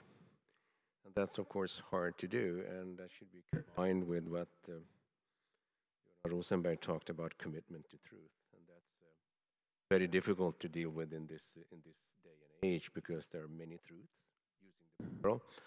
And you can also uh, present or truths in many different ways, and that makes it, of course, harder. So one needs to spend a little bit, time, little bit of time on uh, explaining to others actually what you are, what you are doing. But having said, having said that, we should treasure the right to think. No society is so wealthy and so rich so that you can just let people wander around aimlessly being bored. Eventually, there's got to be some kind of an output. Otherwise, it just won't, it just won't work because somebody's got to come up with the money uh, to pay for all of this. And that's why we, of course, have this conversation and that's why we have this, this debate. So the hard part of it is really to find uh, a good combination of treasuring the right to think while at the same time making sure that there is an output that also can be applied in one way or the other. Because otherwise, you end up with sort of completely independent satellites, and no one can really understand what these people are doing. That's why you always will have to make compromises, reasonable compromises, when it comes to find the proper balance between the right to think and producing outputs that can be used by others. Uh, Maryan, we'll get to you, but Li has a comment on that, I think. Yeah, of course, it's very easy to just comment on the world being bored, uh, being bored. Um, but of course, I think the, the main issue is exactly this, that um, what, to what extent do we allow the universities themselves to concentrate, to concentrate on the work that's done and to know, to trust the academic community in terms of what is a good output? Uh, I remember when the educational committee in Finland visited Switzerland and we met some local politicians uh, and they were asked, like, what are the main, main policy goals for the university system here? And they, they said that we have no other goals than for the universities to be the best. So we just give them the money and they can do whatever they want as long as they are the best in the world. And that, that was their, like, uh, their thinking in terms of how to combine academic freedom with some kind of financing model. And I think this is what I'm aiming at if you compare it to the Finnish system where you have where you're trying to micromanage how many people with how many degrees and how often and publications and so on, uh, where it seems that the main way of uh, measuring quality is uh, in terms of amounts, amounts like quantitative, um, quantitative results. Right, and uh, President so, Yeah, I will just uh, add that uh, there is a control and there is a control. The money talks. Money talks both in Turku, even here, and the money talks also in Helsinki. And, and it, it talks in, in different forums that if you discuss with uh, the Minister of Education, and they say that um, we see that we are lacking this or that kind of the people, could your university perhaps a little bit uh, intensify the education or, or, or, or, research in this sector, we would be very, very happy to, to help this flagship or the other, other terms you have created in, in, in legislation for that. And it works. And I have nothing against that in that sense that universities have two, three different kind of the duties. One is, of course, the free uh, research, one is, one is education, education of civil servants. Uh, I take one thing which has been very, very important now. We needed Swedish-speaking lawyers. And, and so the third point is that we need also then you are serving the society and the world, the humankind. So I mean that two sectors are more or less what you can think, but education of, our civil servants, it's, it's something we really need. And why I mentioned the Swedish-speaking uh, lawyers, it's that the government is complaining that they, they have no, not enough people to translate the legislation. Uh, of course, governments can have a different kind of the excuses, but, but I know also that when I have been working with the Northern Islands, for instance, and, and sometimes also the Swedish Swedish education, I know that that's true, that uh, I could almost say who who of these uh, civil servants in the Ministry of Justice can, can speak Swedish so fluently that they can work with this, this part. And I mean that this is that. This is a practical life, and that's why I say always that wherever, what, whatever I would like to see, the money talks. Maryan. Yeah, thank you. Um, to kind of go back to the original question regarding universities and autonomy, I think, of course, I mean, I don't think uh, any, like there can't be really rational argument made to say that universities should not have an autonomous uh, position in the society. With that said, um, I like what President Halonen said in regard to human rights being part of the universities.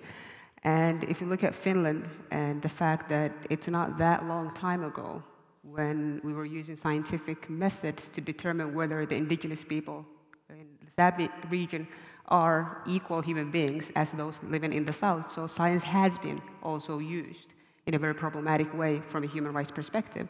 So there has to be some kind, of, and I think in the university today, definitely we have ethical committees and so on to make sure that such overboards will not happen again. But then to that respect, I think university um, in Finland is still quite white. And I think this is a problem. Uh, and it's a problem because in knowledge production, we need everyone in the society to be part of it. Because lived realities and experiences are a key factor as well when you are producing knowledge. And when we talk about this natural, like uh, neutral knowledge production, I don't think any of us is neutral. We all have our set of ideas and opinions and experiences that have an impact on how we view things or how do we limit our target research or group or whatever. So these are elements that we really need to take into account. And how do we create that? How do we make the university of the future here in Finland, for example, to be less homogeneous? So that we would have people from different groups. Like I would love to see universities having uh, Roma professors running programs on Roma studies and Roma history in Finland. We don't have that yet, so yeah. Kiitos. Thanks. Uh, we're having some difficulty with the sound here, but I hope that everybody still hears what we're talking about. All right, so we're going to pass the mic along to everybody who's, who's talking. Is that including me as well, or? All right, I'm the only one. Oh, that's typical. Göran Rosenberg, we can pass, pass the mic along uh, here if possible. I, ha I have uh, You have a mic, all right. Um, one here. So Maryan was talking about, uh, and you also, I think, about this concept of, of knowledge versus wisdom. And I was thinking about the university, what role it has in society, what sort of force uh, uh, you can expect of it. And I mean, you have written extensively about uh, European history, for example, and know that, I mean, universities are no, no guarantee for atrocities not to happen. You talked also about truth being sort of a big part of this competition, that you can actually compete with truth. In this day and age, and considering what you have written about, how sure are you about that, that truth is actually something valuable a hundred years uh, from now, or even 10 years? And what role does the university play in putting forth that idea? I don't know if you noticed, but I didn't use the word truth. I used the word truthfulness. All right. Because truth is really an elusive thing, and, and, and, but truthfulness is an ambition. This is a, let's put it even a, a moral ambition. I will, as much as I can, look for the truth according to my ability. This is the, and, and, and uh, this has been the tacit uh, uh, sort of basis for all uh, inquiry, human inquiry, has been the aspiration to truthfulness. We know that there are lies and people lie and there are all kinds of, but we always imagine that this was, uh, uh, uh, this was uh, had a competitive advantage. I use that word to lie. Eventually, truth would win out. That, that's a saying we have. We are now living in a time where we're not so sure anymore that truth will win out. And let me then try to explain what I try to say with, with my plea for a university that, that seeks truthfulness and not necessarily seeks a specific, uh, specific result, a specific value for those investing in such and such research. This is what we see is taking over more and more. I think there should be, and I also made a plea that universities and even the sciences should go back to what universities were at once universities of the humanities, of the human quest for, for understanding and meaning. And if the universities understood themselves not as producers of various results of kinds, of this product, of that product, of, of the solution to this problem or that problem, but as custodians of this really basic human uh, endeavor, I think we will also have a new understanding of the humanities as we today understand them in the university that are not understood properly today. They try to make themselves look like nat natural sciences. They want to produce the same kind of results, uh, comparable, measurable, uh, useful, etc., etc. Sometimes it's absolutely ridiculous because uh, so many aspects of humanities lie in the quest itself. Of course, an informed quest of history, of social scientists, of literature, of, of whatever have you, philosophy, of course. But they have to understand that they must justify their existence with other arguments than the arguments that are now justifying, uh, let us call the, the, the, productive sciences. Because this is another side of the human uh, knowledge that we need. And if we understood that, to, to get back to your question, Dan, I think it would be a sign of wisdom to do that. I think we are really foolish now with playing down the importance of the humanities in our universities, as many universities are doing today.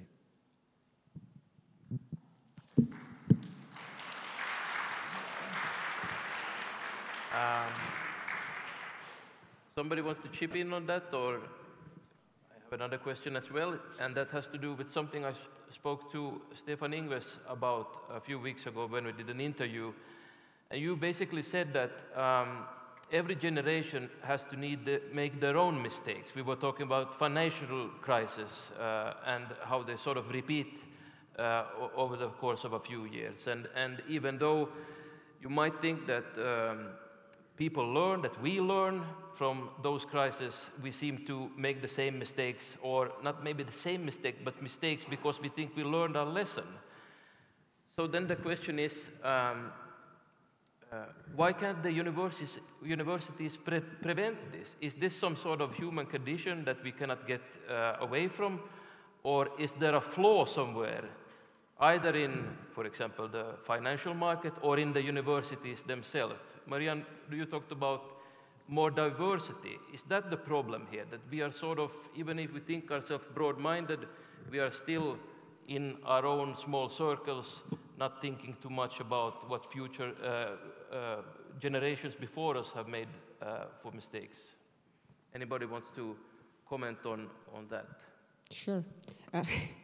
Well, I think diversity is definitely the answer. And the situation we're living in now, uh, specifically if you look at Europe, it's very different than what we have experienced in the past. And by this, I mean that traditionally Europe has been a continent from which people have migrated from. Now, for the first time in its history, more people are migrating to Europe than out of it.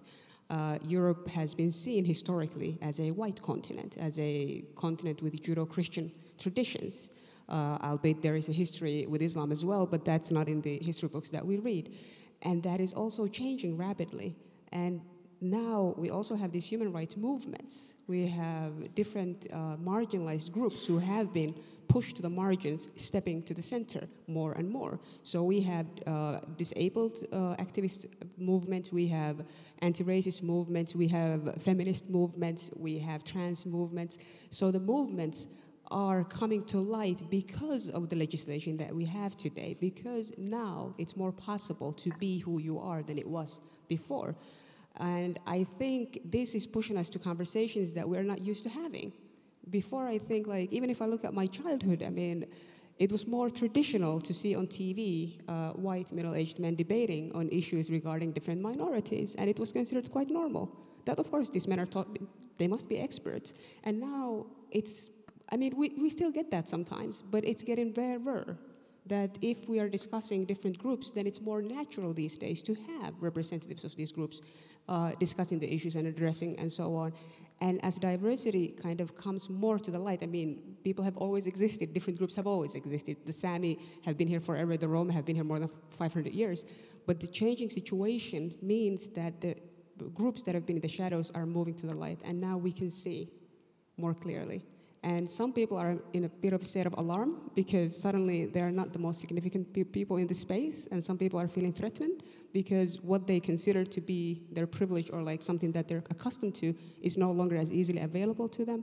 And I think uh, we need to discuss these fears and we need to be kind of build bridges how to address these concerns. Because if you just say that, you know, uh, we don't want to discuss with these groups, then how do we go on? How do we move forward as a society? Because one thing I don't think is possible in the future is having a society where you only have like-minded people who will be like, you know, uh, I will only live with my group. No, you have to live with everybody who lives in the society. And these people can be of very different backgrounds, different histories, different knowledges, but that doesn't mean that they don't have a say in what happens in the society in which they live in. And this brings us to my last point on this. I think we need to learn more how to deal with conflict. I think even in the universities, we should have more awareness of conflicts. For example, you and I are different people. We have different uh, ideas, perhaps. I don't know. But the fact that we are different shouldn't be something that we avoid discussing. That we shouldn't be afraid that, oh my God, something might come up and then he will realize that I don't think like him and then it's over. Like, no, little conflicts happen every day. But we just, I think we need to be more accustomed and we need to move past the idea that the West have had for a very long time that we just need to assimilate people because this has not worked in the past. It will not work in the future. So we cannot push people towards assimilation, but we can manage conflicts and we can teach and learn ourselves how to better deal with conflicts. And I think that also includes accepting that there are multiple knowledges at each given time and there are multiple truths.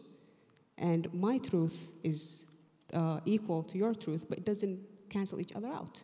And this is something we also need to accept and understand. Thank you.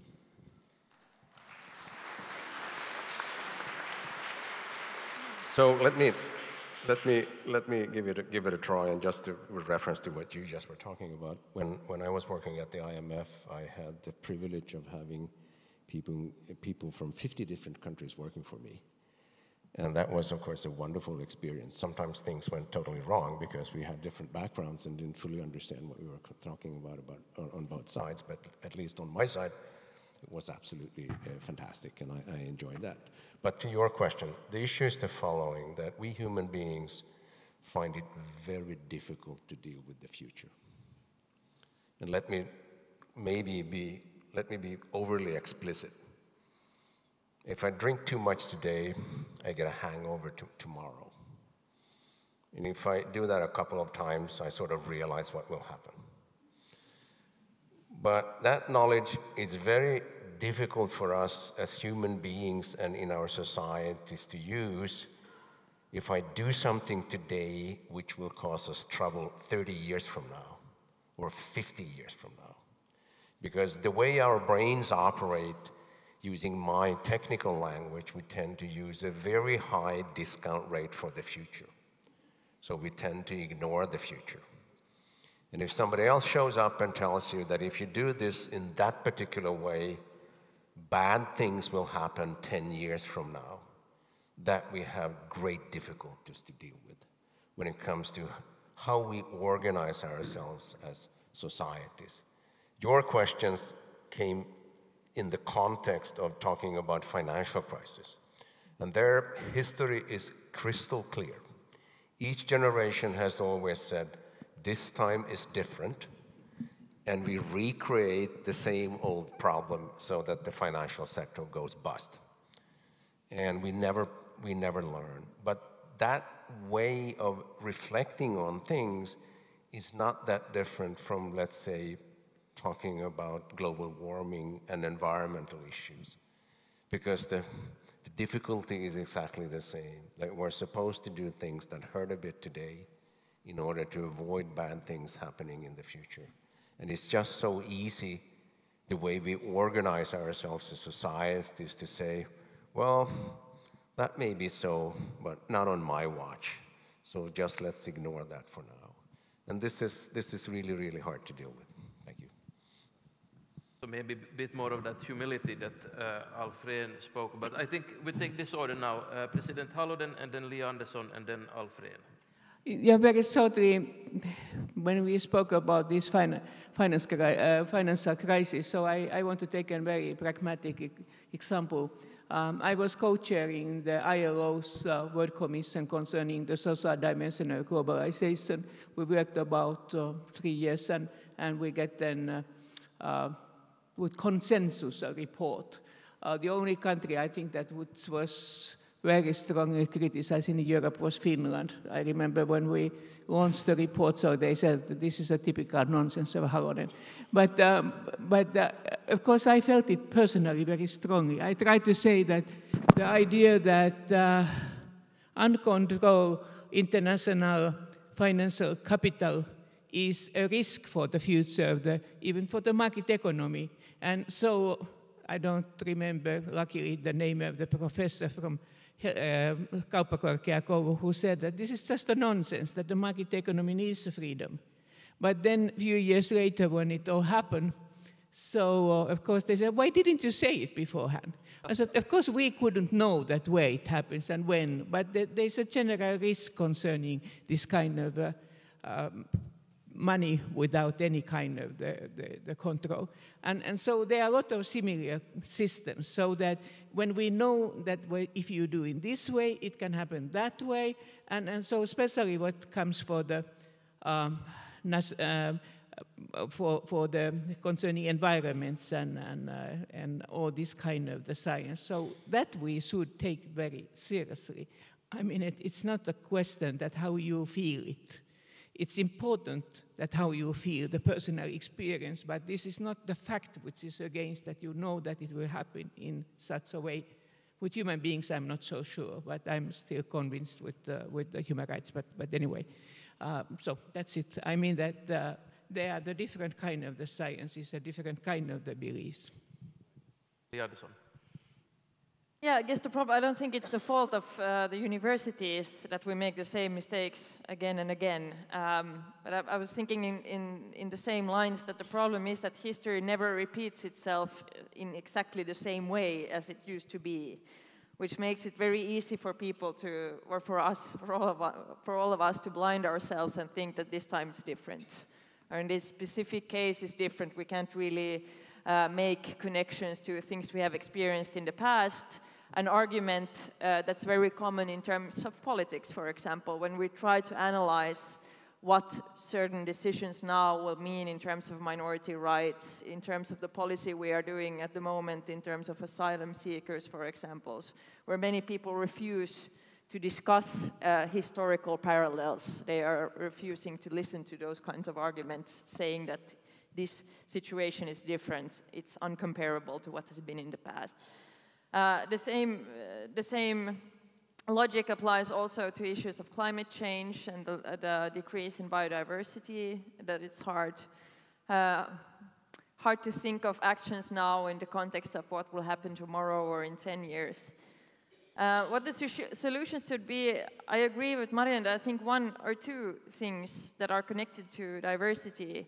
Uh, we need more diversity within the universities, of course, and that's something that should be uh, like a guiding educational policy principle like throughout the educational path because it's also of course something that starts at a very young age like how you treat students how we direct students to in different paths in the Finnish educational system.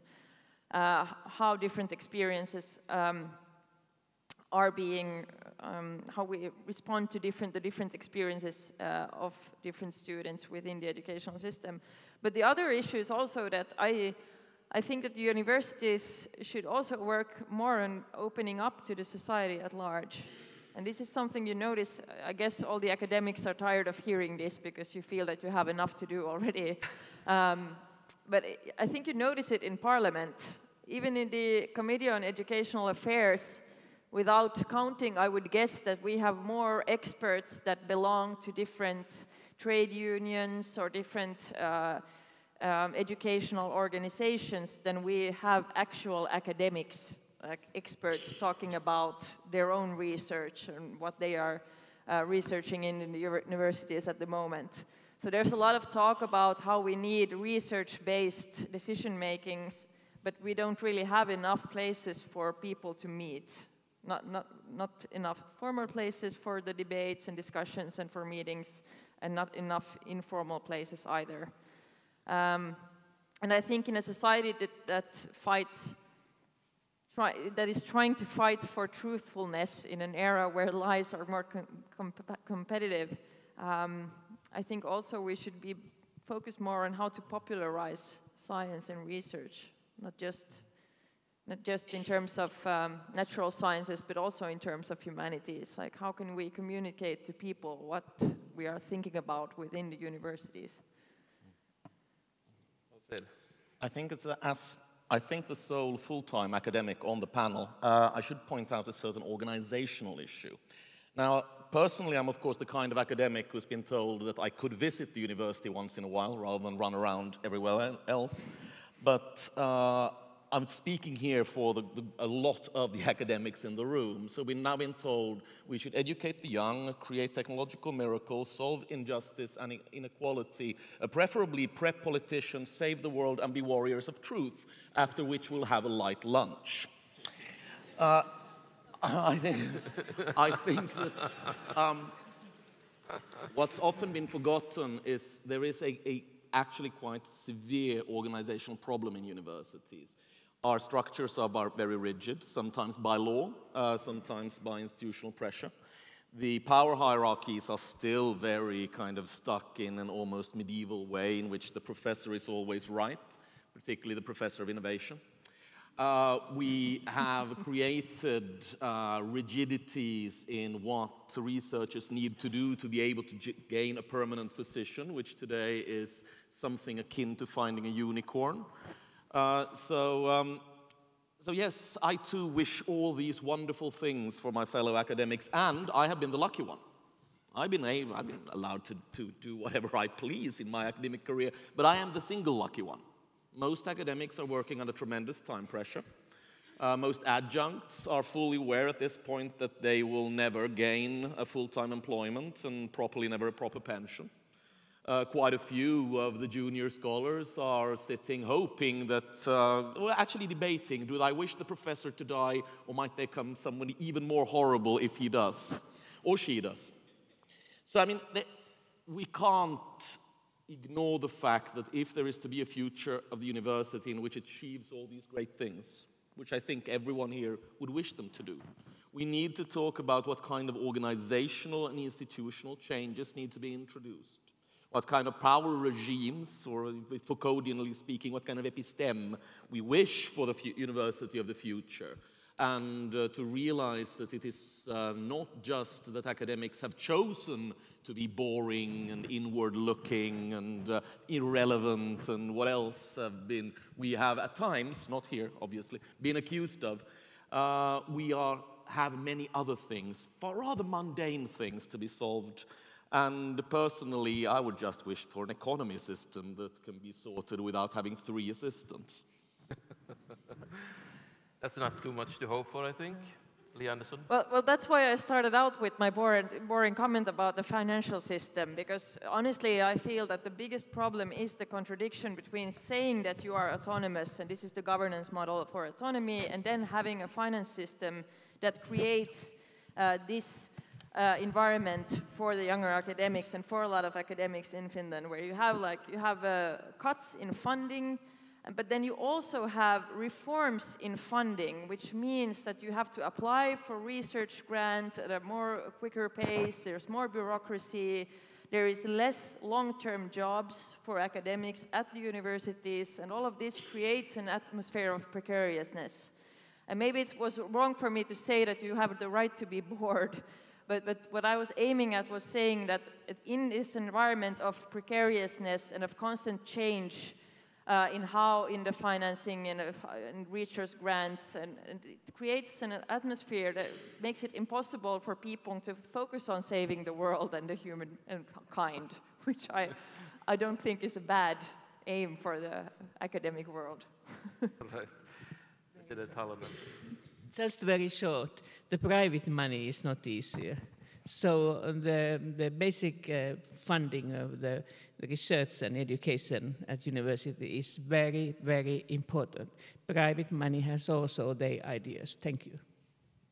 All right. And I, I didn't expect any applause.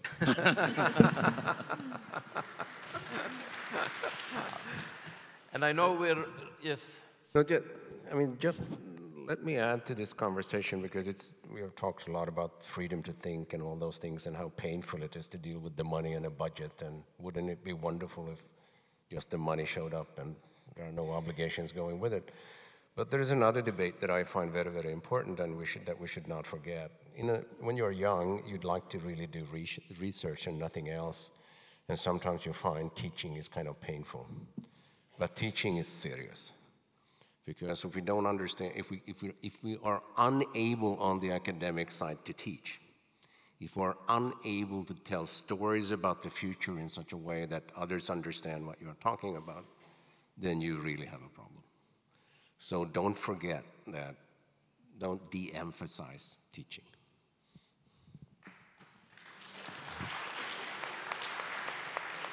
And I know we're running a bit over schedule, but I hope we have time for one round of questions just quickly, because I think also what Stefan Ingves said about teaching and how, of course, the university presents itself. We talked a bit about it, but I know, Maryan, you, have, you wrote a column about making education sexy uh, for, for people, so, so to, to notice it. And so let's take a short round, just talk about the relevance of the university. Is it sort of self-relevant, or how much do the universities need to fight for their place in society, and, and what is the best argument? Göran, if you start us off. I will first uh, wholly subscribe to Stefan Ingves' uh, talk about teaching. Teaching has been, uh, uh, for a while, sort of downplayed. Research was everything. The, best position you could have was a full research position. No teaching, no students, no. I think that's absolutely wrong. I think this, the relationship between teacher and student is the basis of the university and must remain so. and, and the best and the brightest should go and teach. This is my uh, opinion. When it comes to um, the role of the universities, really this is so so difficult because we have so many interests out there wishing to claim the universities for all kind of purposes, and they are not always the same. There has been, of course, in Sweden at least, an enormous trust in the universities or the uh, the um, university colleges to, as a solution to all, all our problems. I mean, if we can get everybody into the university, basically, that has been a Swedish idea, uh, and have a university or higher education, we will be better off as a society. I'm not so sure at all, because I think there are so many ve venues for young people uh, to educate themselves, to gain knowledge, to practice, than to go to university and be bored, seriously bored, fatally bored so, so and then, then, then are these who want the universities to, to, to, to bring forth products, uh, inventions that can gain the economy, create growth, uh, all these things. And there are large companies that want to use the universities to do research for them, basically, and they put in some money to, to, to, to, to make that happen. It is another goal of the university. So, so the universities today lack an idea, a common idea and I don't know if we can, can get back to that, but I wish we could. Because university is, or at least a part of what, what I've been trying to say, of what we need in our quest for understanding this world. And universities have been historically a very important part of that. Maybe they are not anymore. But then we are lacking something because we don't understand the world. And as you said, I mean, we are going in all kinds of direction, maybe because we are finding ourselves. I'm now my this is my identity, this is your identity, and, and this is how I am, and this is how you are. But we are human beings at the bottom, and that this is what, at the, this moment of history, is absolutely crucial that we reinvent ourselves as human beings. I'm not saying the difference will go away, they won't, but we must be able to, to see things a bit larger than that. This is, uh, yeah, thanks. Uh, President Halonen, you want to add to that? Agree with Göran Rosenberg? Yeah, quite much, but I would say that uh, the uh, act concerning the universities in Finland is pretty good in such a way that, that they, they are both the research, education, and serving the society, the humankind. And, and I think that um, how then to choose, and why I, I have said already that uh, universities could have this autonomy they have today, is that they make the right choices. This is a right and duty of every human being, and this is also for you at universities. You have to make the correct choices, the balances, how to do it, and, and uh, I hope only that you get, could get more financial resources so that you don't need to cut the lessons and lectures because of that. But uh, the time schedule, this is in your hands, and, and you have to make the correct choices. Yeah, sorry to say, that's the life. I think I, I think I managed with this actually. Um, um, I, I, don't mind using your microphone. Why? Don't take Why? this personally. okay. Um, I think that in order for universities to capture re their relevance, we really need to think about, uh, as I kind of implied, the organizational structure. Currently, it's very, very much so that, well, research reigns supreme. We say nice things about education. We do that all the time. We say nice things about outreach. But if you're to go up in the hierarchy, you need to prove yourself research-wise. That's it. And there are colleagues, fine, fine researchers, who are awful teachers, absolutely horrific teachers. And that's okay. That is completely okay. Not everyone is great at everything. But what we need in the university is a promotional and incentive system that allows for various kinds of academics of the future. That allows you to become a professor simply by being an incredibly good university administrator who's brilliant at structuring educational programs, who's brilliant at creating a great working climate for others. Whereas there should be research professors, people who don't teach simply because they're so awful at it. And there should be educational professors who actually can gain that level by being very good at university teaching. If we don't have that flexibility, in some sense. It doesn't need to be tied to titles. But that notion of having a more multiplicitous, a more diverse, if you will, uh, incentive structure, then there is the risk that the relevance of the university will suffer over time and over super specialization. That's simply the fact. Organizations matter, and our structures of organization matter. Andersson? Um, I think maybe at this point, um, it's not the responsibility of the universities themselves to prove their um, relevance, but maybe more time for the rest of the society to understand um, the relevance of the universities and to also make decisions that show that their re relevance really is understood and is valued um, in society at large. Personally, I have to say, I read uh, a research that was made in the universities in Finland after it was kind of an evaluation of how the new University Act um, has played out within the, the, academic communities and how people were feeling about decision making and, and, the working climate in the universities. And it was absolutely uh, horrendous reading, to be honest, because the results were really bad. Like the picture that were, was painted um, in terms of how people working in academia in Finland felt the climate within the universities and how they felt that their input and work was valued.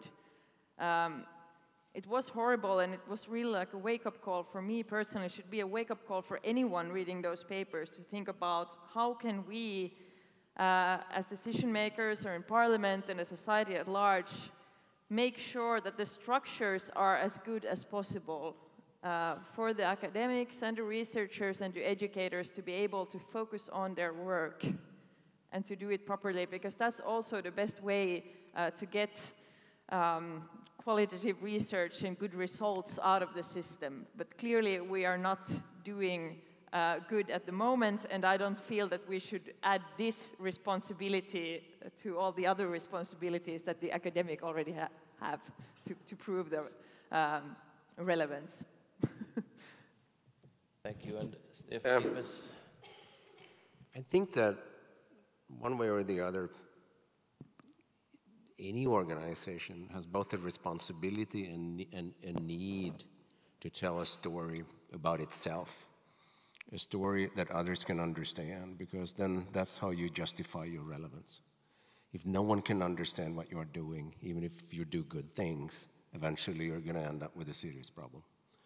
And so you just have to spend a bit of time on thinking about what is my story and how can I make others understand my story? Because then maybe they look at me in a more favorable light compared to not understanding anything at all. Maryan, you get the last word at this. Uh, yeah, well, maybe to conclude, I definitely agree with myself in the column that I wrote that we should definitely make knowledge sexy again. Uh, thank you to my co-panelists. It's been very enlightening, and I have a lot to take home in my mind regarding this panel and lots of things to think about.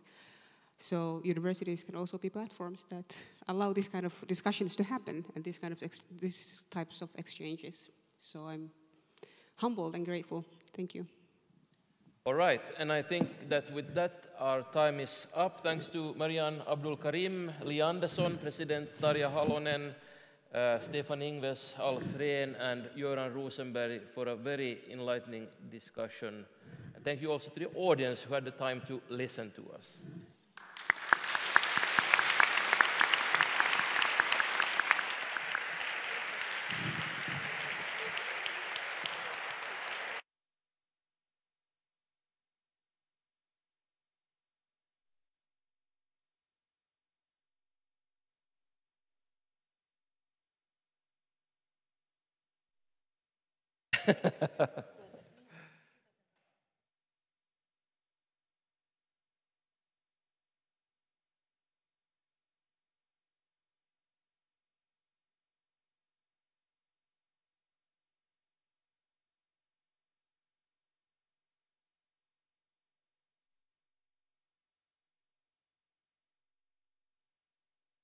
Seated.